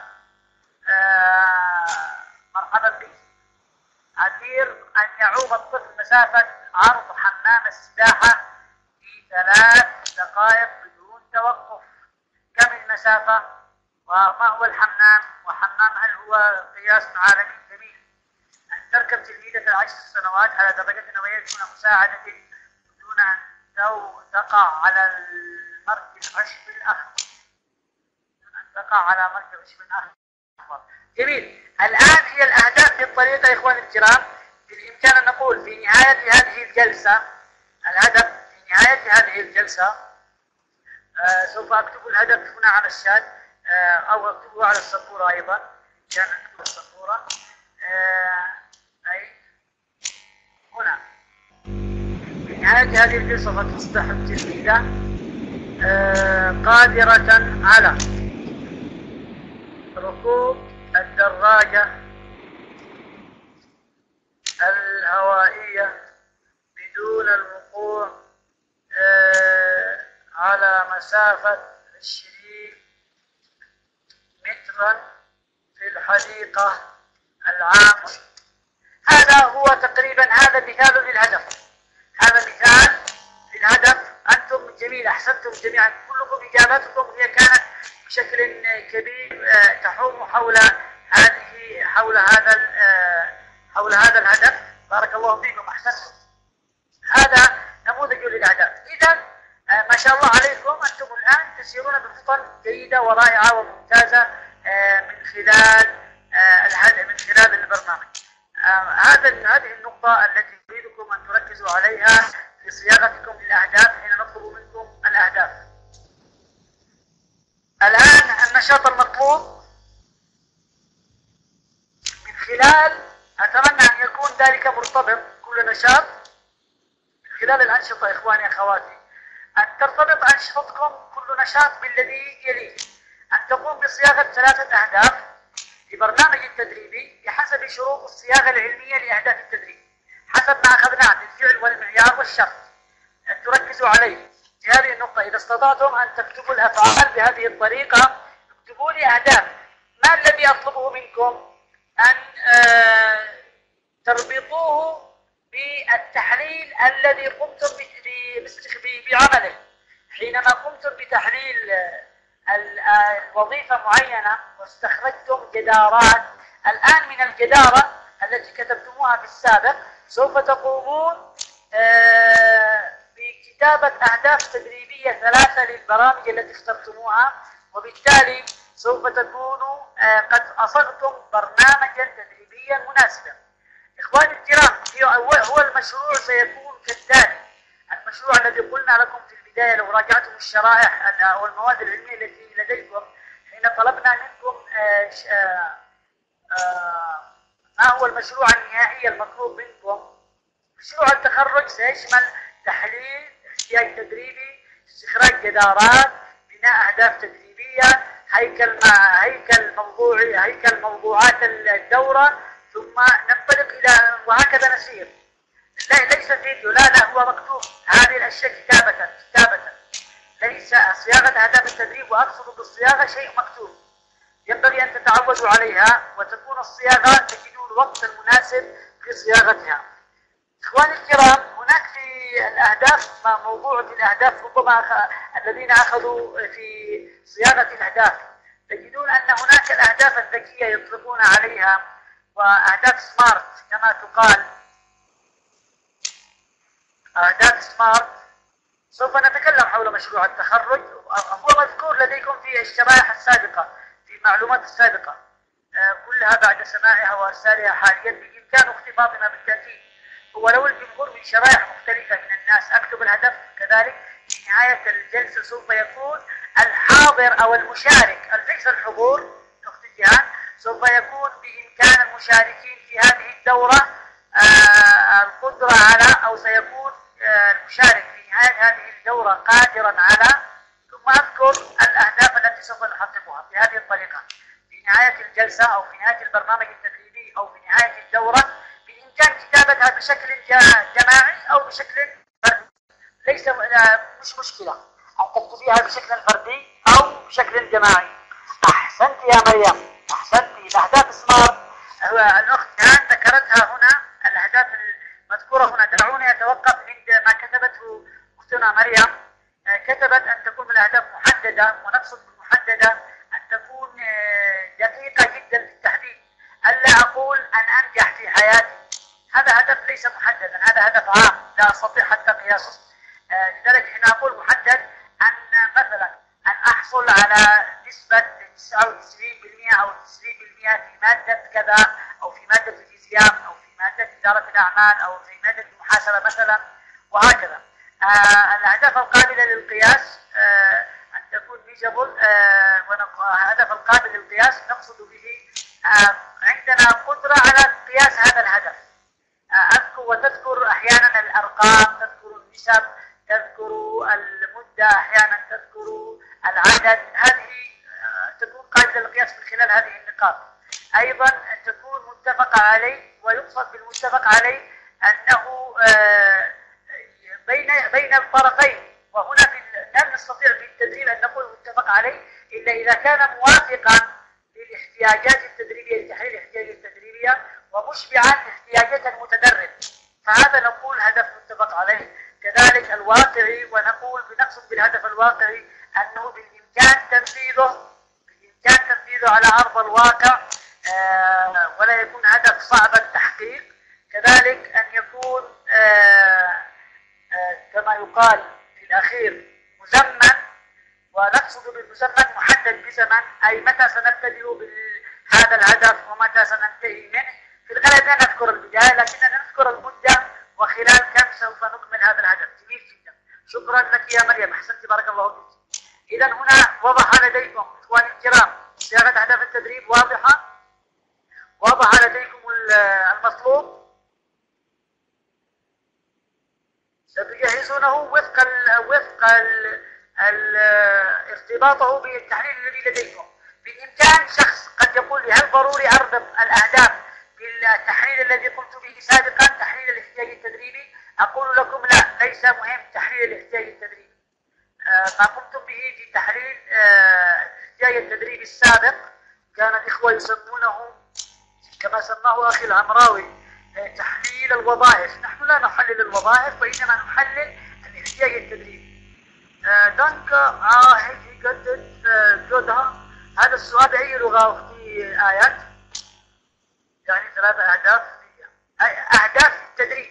ليس أهداف التي أهداف ستسعين لتحقيقها في التدريب. كنت أمزح أخي أختي آيات لا بأس أنا قد عرفت أنك لم تغيري اللغة في كتابتك. إذا آه، أنتم بالإمكان أن يكون الموضوع مستقل وبالإمكان أن يرتبط الموضوع بتحليل الاحتياج التدريبي. لا بأس في هذه المرحلة لكن في المشروع النهائي سوف أطالب أن يكون المشروع كتلة متكاملة في الموضوع.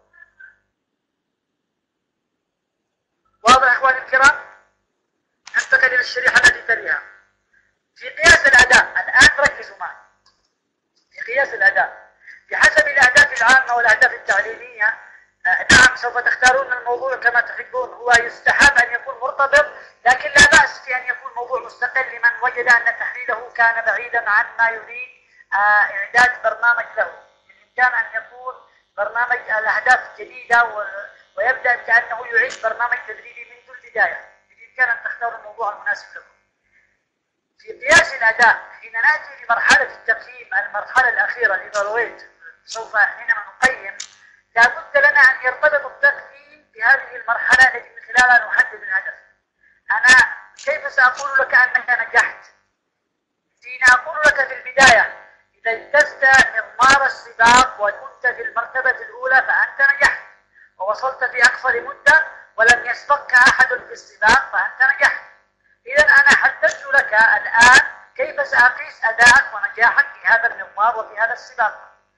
بالتالي فنحن نحدد المقاييس والمعايير التي سوف نقيس أداءك من خلال التدريب ونقيس نجاح البرنامج التدريبي من خلال في هذه المرحلة سوف نحددها بإذن الله سبحانه وتعالى. إذا لدينا هنا حسب الأهداف العامة والأهداف التعليمية والتدريبية سوف نختار أدوات مناسبة لاختيار أو لاختبار نجاح الأداء بعد نهاية البرنامج التدريبي. عادة إما أن أقيس معرفة ويكون ذلك من خلال اختبار تحريري أو شفوي أو من خلال اختبار مهاري أو سلوكي وهذا نقيسه من خلال اختبار عملي وقد نضيف له اختبار أيضا تحريري. هذه الاختبارات والوسائل التي نقيس من خلالها الأداء بالإمكان أن يكون نشاط عملي بالإمكان أن يكون ورقة اختبار يجيب عليها بالإمكان أن يكون مقابلة بالإمكان أن يكون آه، آه، عبر مشروع يقدمه المتخرج لإثبات فهمه للمادة أو لنجاحه فبالتالي آه، في وسائل القياس لابد أن نراعي ما يلي لابد أن نراعي ما يلي إخواني الكرام. من الأشياء التي ينبغي أن نراعيها الدقة في اختيار الوسائل. لا تقم بتحديد وسيلة تقييم معرفية لبرنامج إكساب مهارات. ولا تقم بتحديد اختبار عملي لبرنامج معظمه معلومات.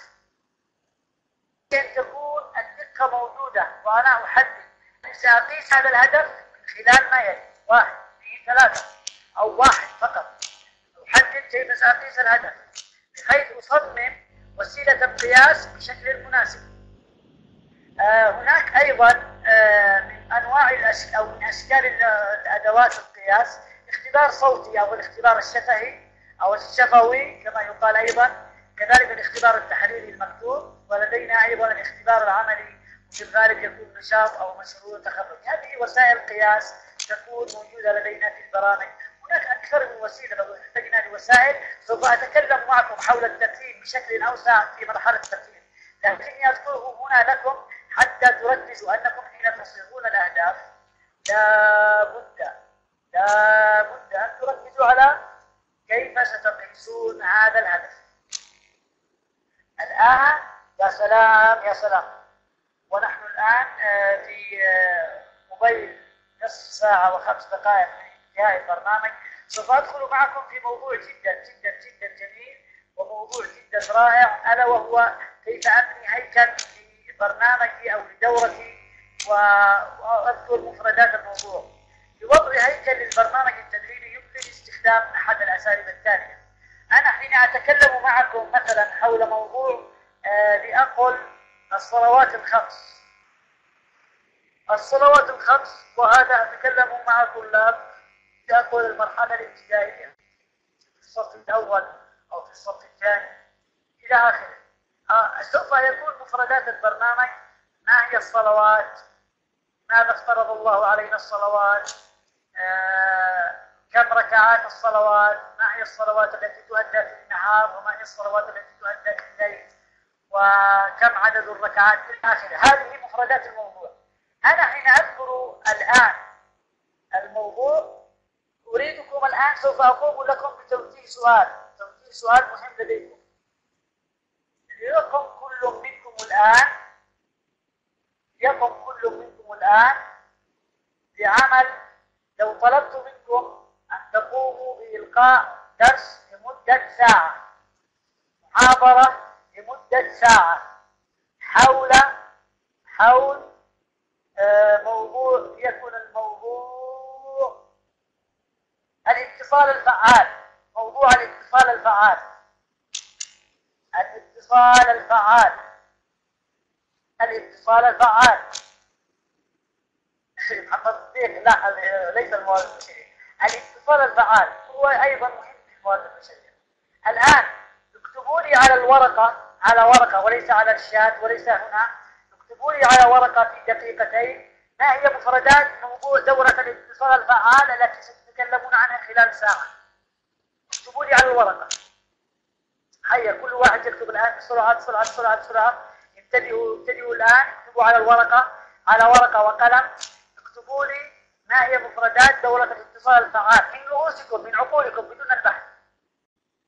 هاجر كتبت لنا كأنك تكتبين لنا قطعة حول الاتصال الاتصال هو أساس حياتنا اليومية نعتمد عليه في نقل الأفكار وتبادل المشاعر. ليس هذا ما كنت أقصده. كنت أقصد مفردات الموضوع ما هي مفردات الموضوع. الآن أسألكم جميعا يا كرام يا أفاضل يا كرام يا أفاضل الآن أسألكم سؤالا.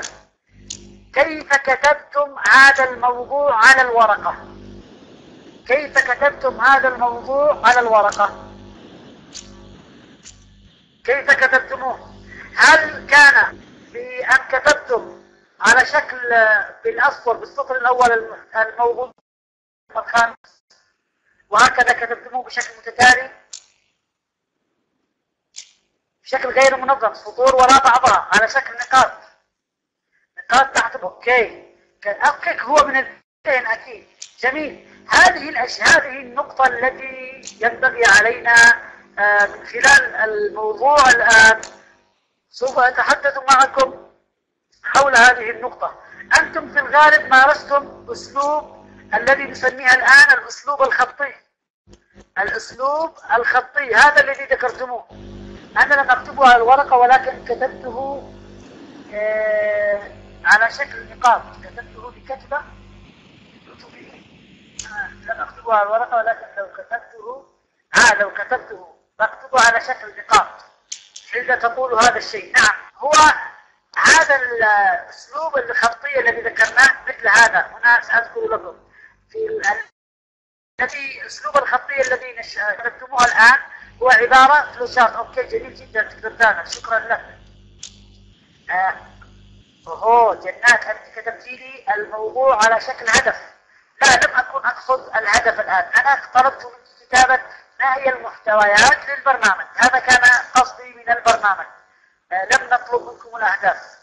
آه أيتها الرائعة جنات تونس. الرائعة.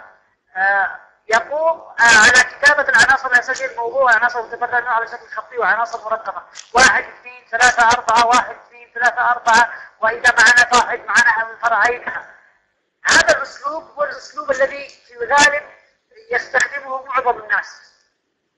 ولكن هل هذا الأسلوب جيد؟ وهل هو مناسب؟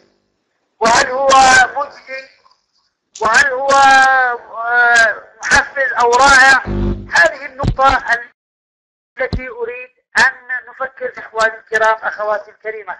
هو أسلوب أحيانا حتى ينسينا أنا لو أخ... لو كتبت المفردات في ورقة ثم ذهبت لألقي المحاضرة وفجأة ضاعت الورقة أحيانا قد أجد صعوبة في تذكر ما الذي كتبته.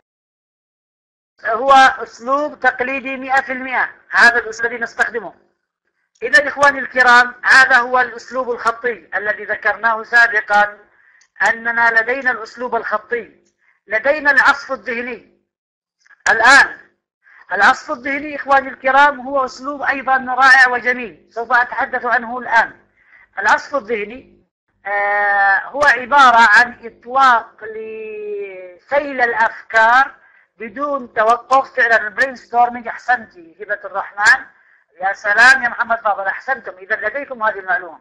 الآن لو قلت لكم اذكروا لي اذكروا لي آه عشر استخدامات للقلم. بسرعة بسرعة بسرعة بدون تفكير. لماذا أستخدم القلم؟ عشر استخدامات للقلم. كل واحد يكتب كل ما يخطر برأسه. الكتابة الكتابة الكتابة وماذا وماذا وماذا وماذا؟ هيا أسرع الرسم. وماذا أيضا؟ التوقيع حك الرأس التفكير. الكتابة النقش التلوين الفن. ماذا أيضا؟ الإمضاء التسطير وماذا أيضا؟ شرب العصير.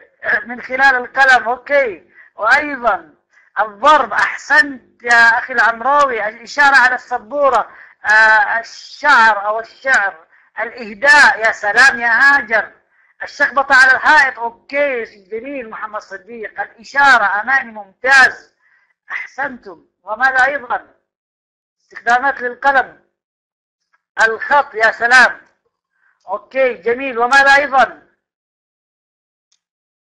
هل توقفت عاصفة أفكاركم يا للهول؟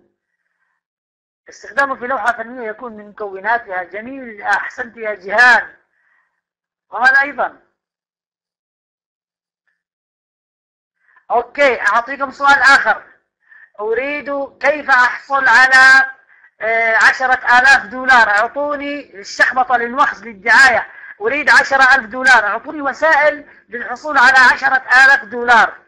الآن السؤال وما هو؟ كيف أحصل على عشرة آلاف دولار؟ البيع العمل التجارة على النت العمل آه، العمل وقت إضافي التجارة الإهداء آه، منزل عشرة آلاف دولار ورثة عن الأقارب توفير استئجار آه، استدانة بورصة كراء جميل. تقصد الإيجار أيضا الكراء في المغرب. جميل. هذا العبارة. ابتكار آلات اختراع. جميل. مشروع. مشاركة في المسابقة. فوز. اقتراض. شهادة استثمار. إقامة دورات. يا سلام. تأليف كتاب. أحسنت يا دكتور تامر. فوركس مهندس تامر. إذا لدينا تامر. ما شاء الله كثير. لوتو. جميل. سؤال كيف أحصل على عشرة آلاف دولار؟ كل هذه الخطوات انظروا لي لما جبت لما لكم الأفكار الرائعة التي جئتم بها من خلال الكتابة بدون تفكير. السرقه أحسنت يا مزمل. جميل السطوه على بنك أحسنت. عمل برنامج تعليمي لدا يا سلام. الإكثار من الاستغفار. أحسنت. يا سلام. هذه الأشياء التي أسميها أنا عصف ذهني. فعلا. حين أنا كنت أقول من سيذكر النصب من سيذكر هذه الأشياء؟ في العصف الذهني أنا أذكر كل ما يعقل وما لا يعقل من الأشياء ومن الوسائل ومن الأفكار. أترك لعقل المجال بدون توقف في الإجابة. الهاكرز على بنك okay جميل. إذا هذه ما قمتم به الآن هو عبارة عن عصف ذهني. العصف الذهني يستخدم في حل المشاكل العصف الذهني يستخدم في تحديد الأدوات والوسائل لتجاوز مهمة أو مشكلة أو أحيانا لتحقيق هدف. هذه جميل جدا. العصف الذهني هو من قواعده فعلا. عدم رفض أي فكرة. لا تسأل. لا ما يصلحش نسرق حرام. لا النصب حرام. لا. هنا أذكر كل ما يمكن.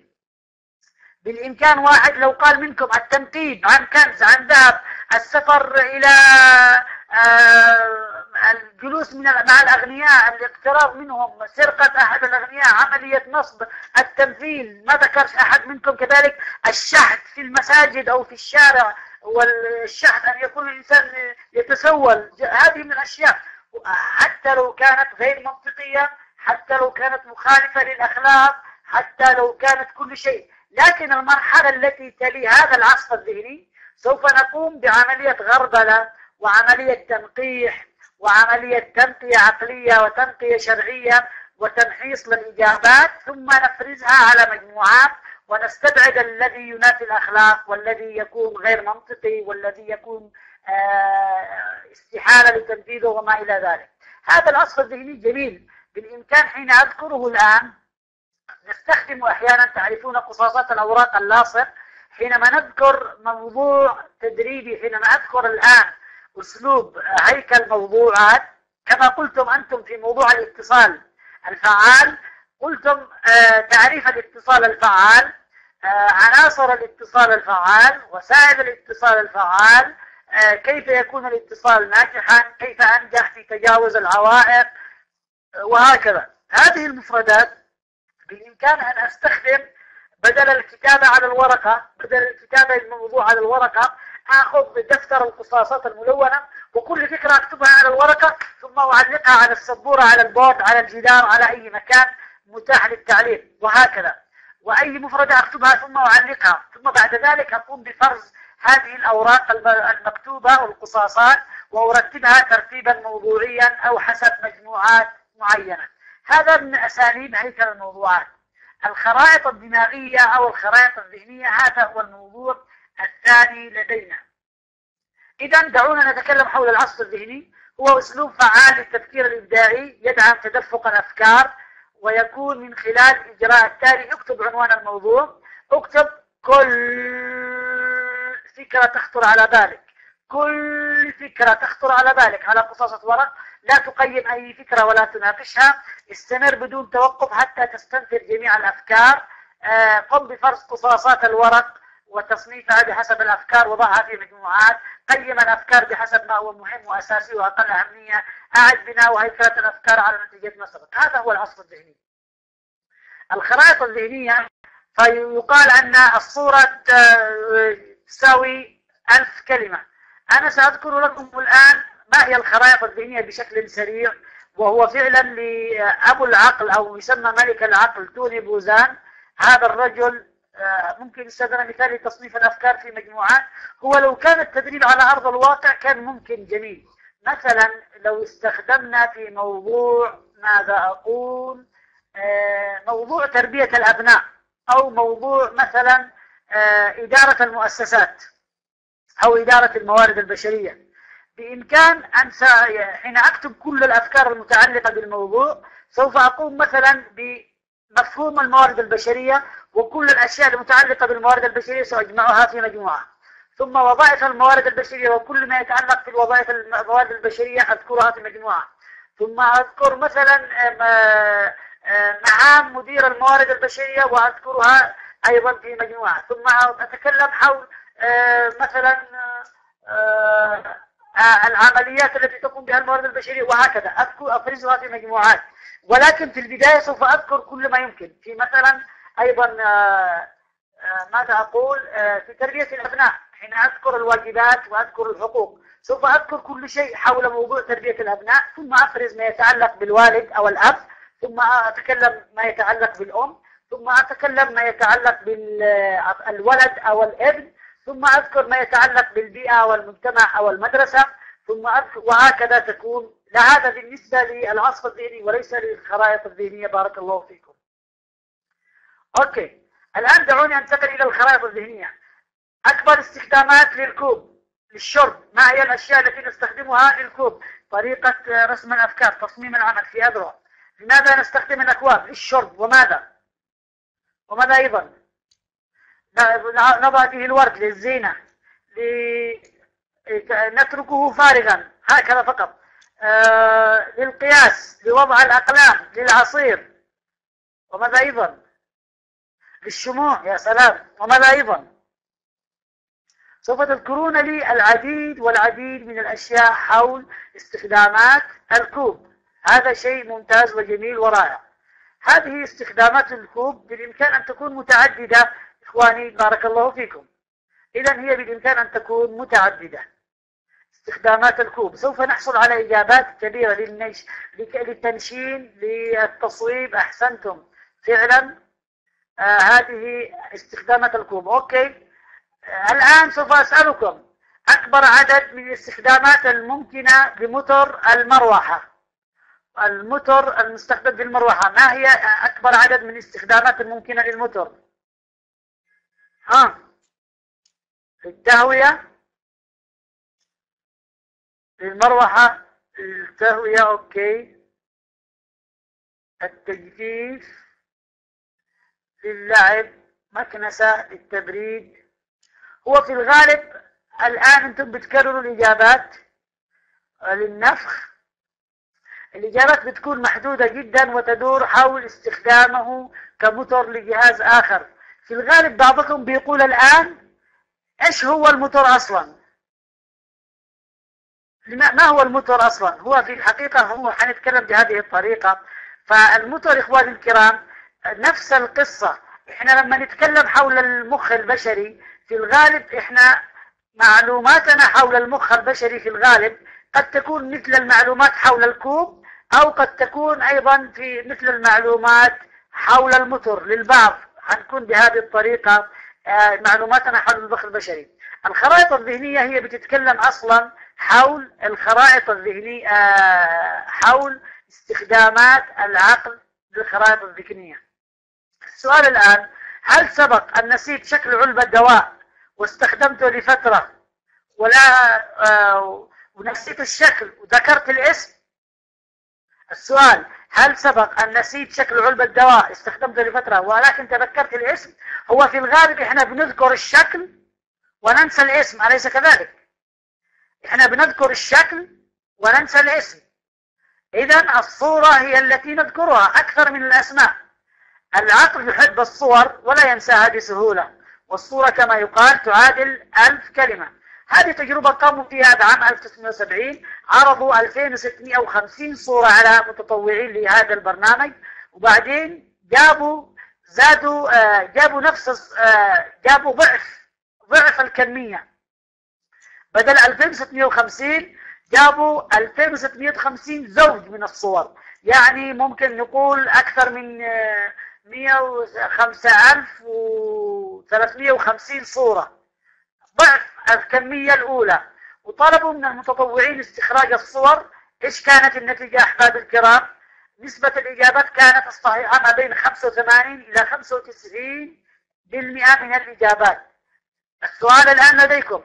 هل تستطيعون إدخال الدوائر إلى داخل المربعات؟ للأشكال تدخلون المربعات الدوائر الخضراء إلى المربعات الحمراء. هل ممكن؟ هل ممكن إخواني أخواتي ممكن إزاي؟ إزاي يا محمد صديق؟ إزاي يا محمد؟ التجربة إزاي يعني؟ آه، أخي العمراوي الحسين بيقول لا مش ممكن. تحرف الداء مش عارف إزاي إيه معناها. لو كانت أصغر حجما مساحتها صغيرة المربعات أنا ملاحظة كده أوكي. هو في الحقيقة لا يمكن أن ندخل الدوائر إلى داخل المربعات. والسبب أنه المكان هذا غير مهيئ لاستقبال هذه الأشكال. لا يمكن أن ندخل الدائرة هذه الكبيرة في داخل هذا المربع الصغير هو غير ممكن.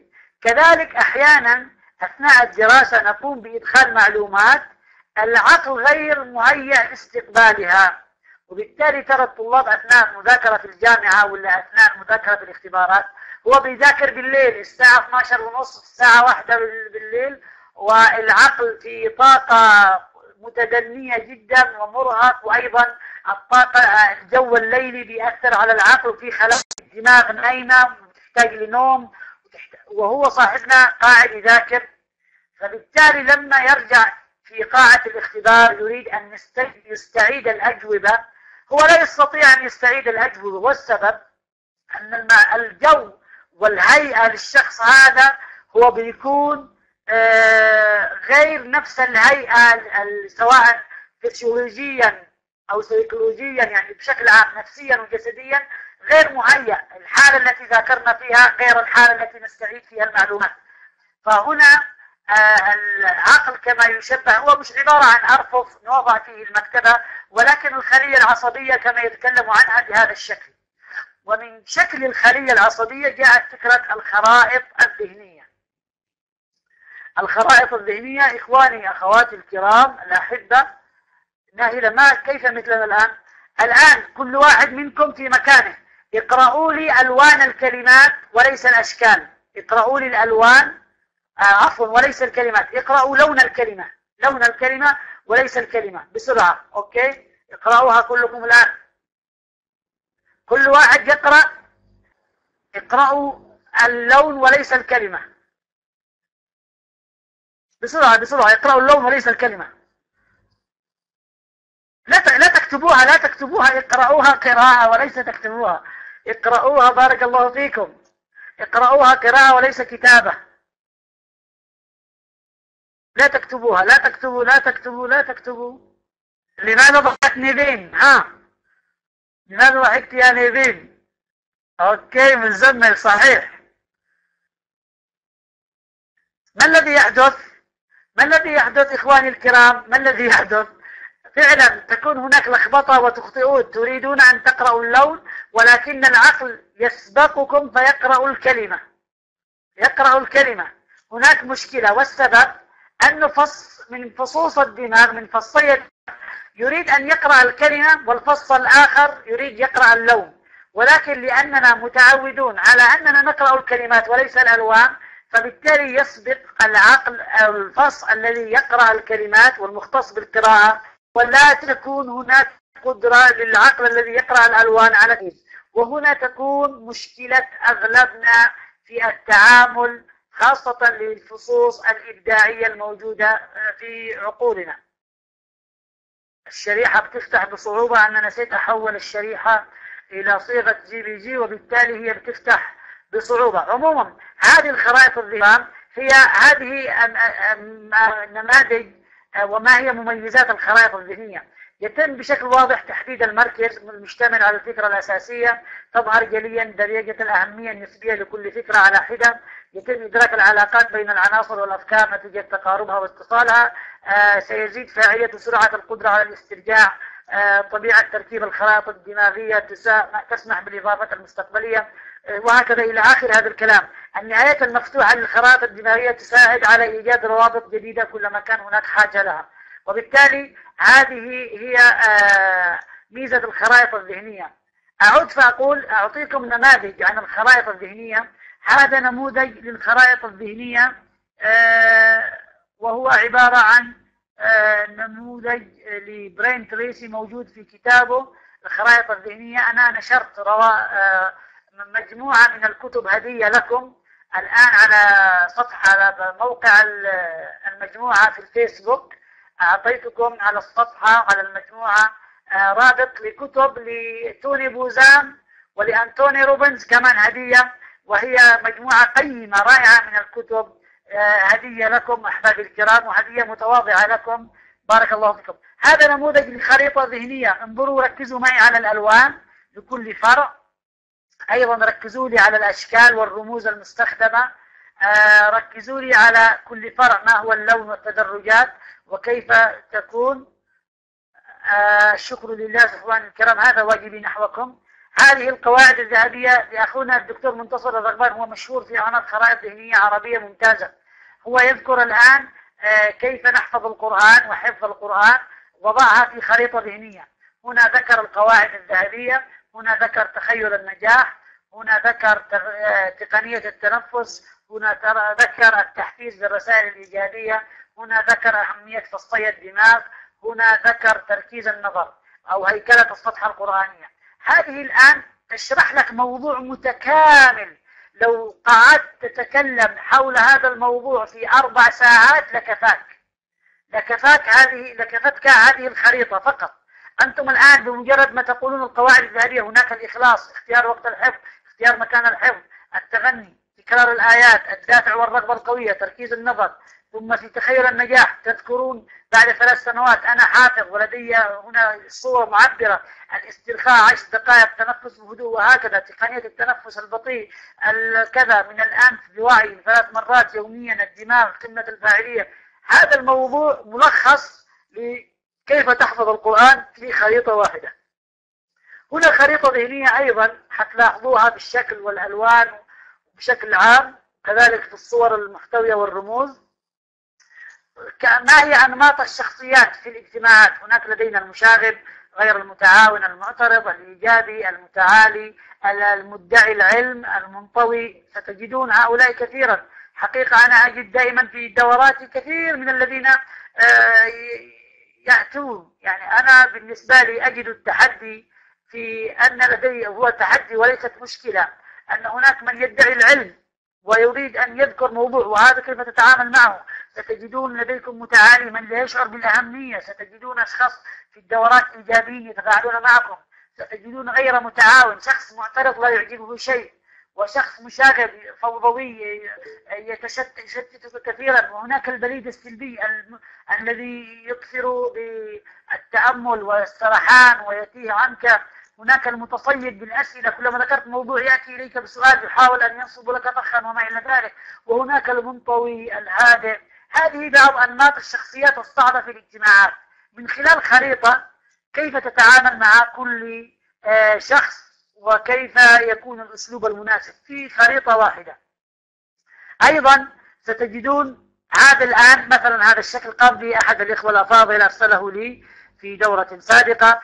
مرحلة الإعداد والتطوير التي نقوم بتدريبها لديكم اليوم. هنا أهمية المرحلة التي ذكرناها ثم ذكر تحليل المشاركين العمل والخبرات الثقافة والخلفية الجنس الفئة العمرية صياغة أهداف التدريب ماهية الهدف التدريبي وما هو أجزاء الهدف فعل ومعيار وشرط. كذلك لدينا هيكل البرنامج أسلوب خطي عصف ذهني خرائط ذهنية لوحات قصصية وذكر أيضا أنواع مقاييس الأداء اختبار شفهي تحريري عملي هذا ملخص لمحاضرة اليوم إخواني الكرام. اليوم محاضرة اليوم ملخصها في هذه الشريحة. انظروا كيف لخصت من خلال خارطة ذهنية لدي بعض الأشكال التي استخدمت هنا من أجل التذكير. جميل جدا هذه الأش- الشريحة في التذكير. هي جهد متواضع لأخ فاضل. بارك الله فيك. إذا الآن الخريطة الذهنية إخواني الكرام هناك مشكلة لا أدري ما هي. لكن دعوني الآن بعد أن شرحت لكم الخرائط الذهنية إخواني الكرام. آه، أنتم لديكم الكتاب الآن موجود لديكم. لديكم ثلاثة كتب في الحقيقة وليس كتابا واحدا.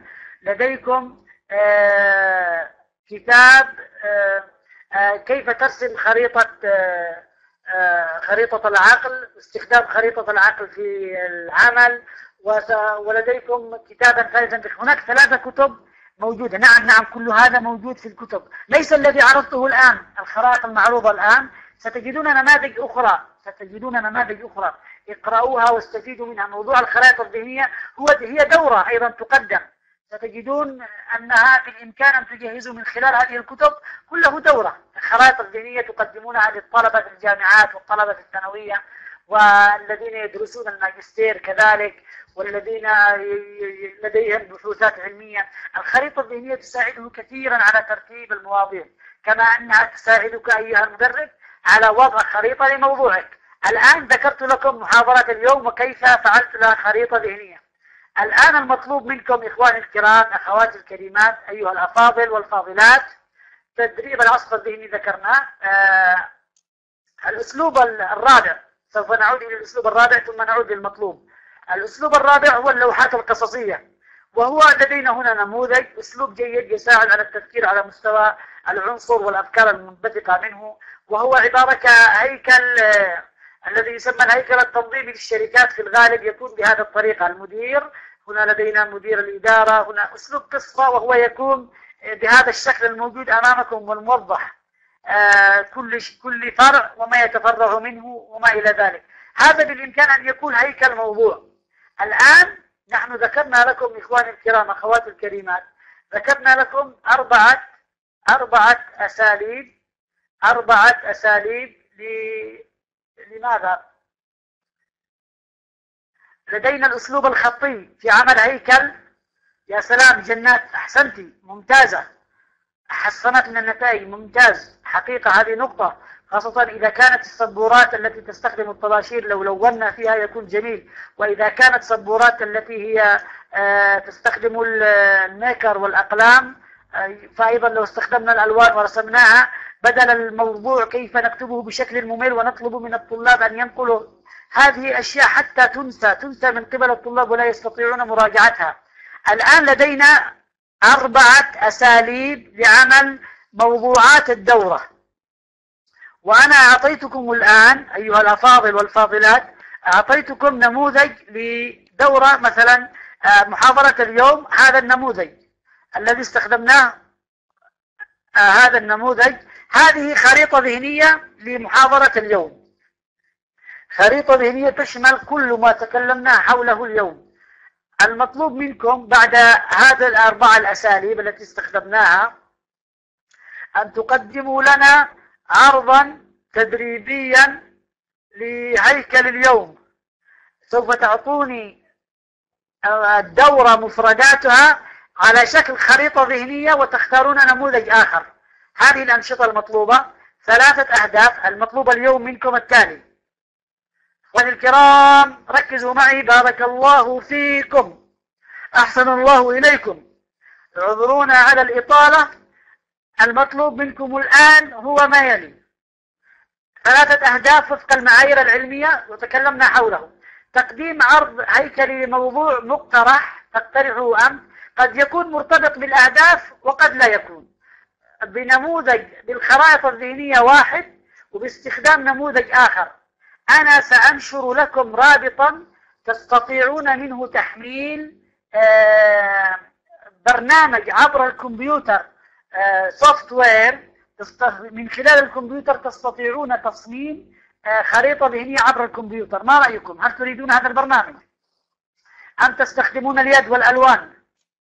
بالإمكان هذا وبالإمكان هذا. حتى المحاضرة القادمة أختي هلداكي إذا سوف أعطيكم هو البرنامج أنا سأعطيكم الآن الرابط آه لتوني بوزان. موقع لتوني بوزان. من خلاله تستطيعون سوف تسجلون. هو التسجيل مجاني وينزل لكم برنامج آه، اسمه Free Mapper تقريبا هذا البرنامج. FreeMind الآن أنشر لكم الرابط.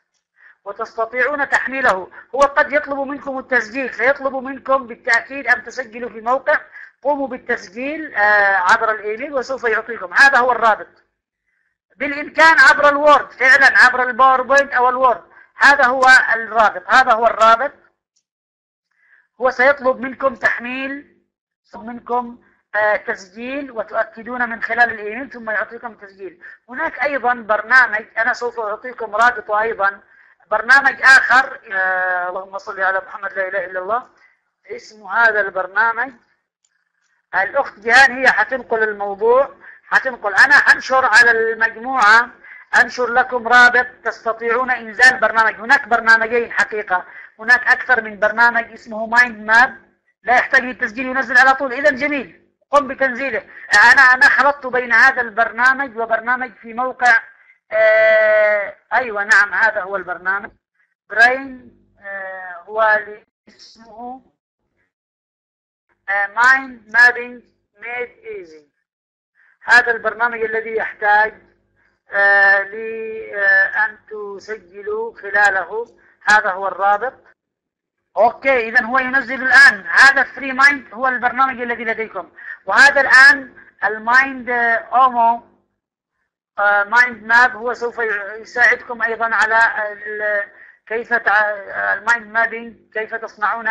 هناك مواقع مواقع تستطيعون عبر النت آه، عبر النت سوف تستطيعون أن تصمموا آه، برنامج ذهنيه وتحفظونها على شكل صورة JPG ومن ثم تكون لديكم تستخدمونها هناك برنامج أنا نزلته حقيقة حاولت رفعه على ال 4share هذا هو الرابط. هذا رابط. هل يمكن أنشر رابط به برنامج آخر؟ آه، بالإمكان أن تنشر أخي الكريم هنا. الأخت جيهان هي ستنشر لكم الروابط بالإمكان على الصفحة أو الأخت ابتسام من الدعم الفني أو الإخوة محمود أو أمير الذين بالإمكان. جميل. هذا موقع آخر أيضا بإمكان برنامج. يا سلام ThinkBuzan dot com. Okay شكرا لك جميل أخي محمد فاضل بارك الله فيك. إذا إخواني الكرام اليوم نستطيع القول أننا أكملنا مرحلة تصميم. مخرجات مرحلة التصميم كما ذكرنا في بداية أن مخرجات مرحلة التصميم هي عبارة عن مدخلات للمرحلة التي تليها. عبارة عن مدخلات للمرحلة التي تليها. مخرجاتنا اليوم أهداف التدريب. آه، إن شاء الله نكون استطعنا آه، أن نصيغ الأهداف. كيف نحدد اختبار الأداء وقياسه؟ كيف نستطيع أن نصمم هيكل للبرنامج والتتابع الموضوعي؟ كذلك أذكركم بأن أهداف البرنامج اليوم كانت كالتالي أهداف البرنامج اليوم تصميم أهداف التدريب بناء على المعايير ووفق الاحتياجات التدريبية المطلوبة قبل تصميم البرنامج التدريبي تحديد وسائل وأشكال القياس المطلوبة لتحقيق الأهداف القدرة على تصميم برنامج يخاطب الشريحة المستهدفة. هذه كانت أهداف اليوم. أسأل الله سبحانه وتعالى أن نكون قد وفقنا لمشاركتكم بالمعلومات التي تساعدكم على تصميم برنامج ممتاز. اليوم هي المرحلة الثانية أخذناها مرحلة التصميم أو التطوير. ال development التي آه، من أو عفوا ال design آه، التي من خلال هذه المرحلة نستطيع أن نتقدم شيئا فشيئا نحو تدريب أكثر احترافية وأكثر معيارية ولا نكون آه، كمن يمتهن الشيء ولا يتقنه. بإذن الله سبحانه وتعالى أخواني الكرام مع الأيام سوف تكونون أكثر احترافية أكثر إبداع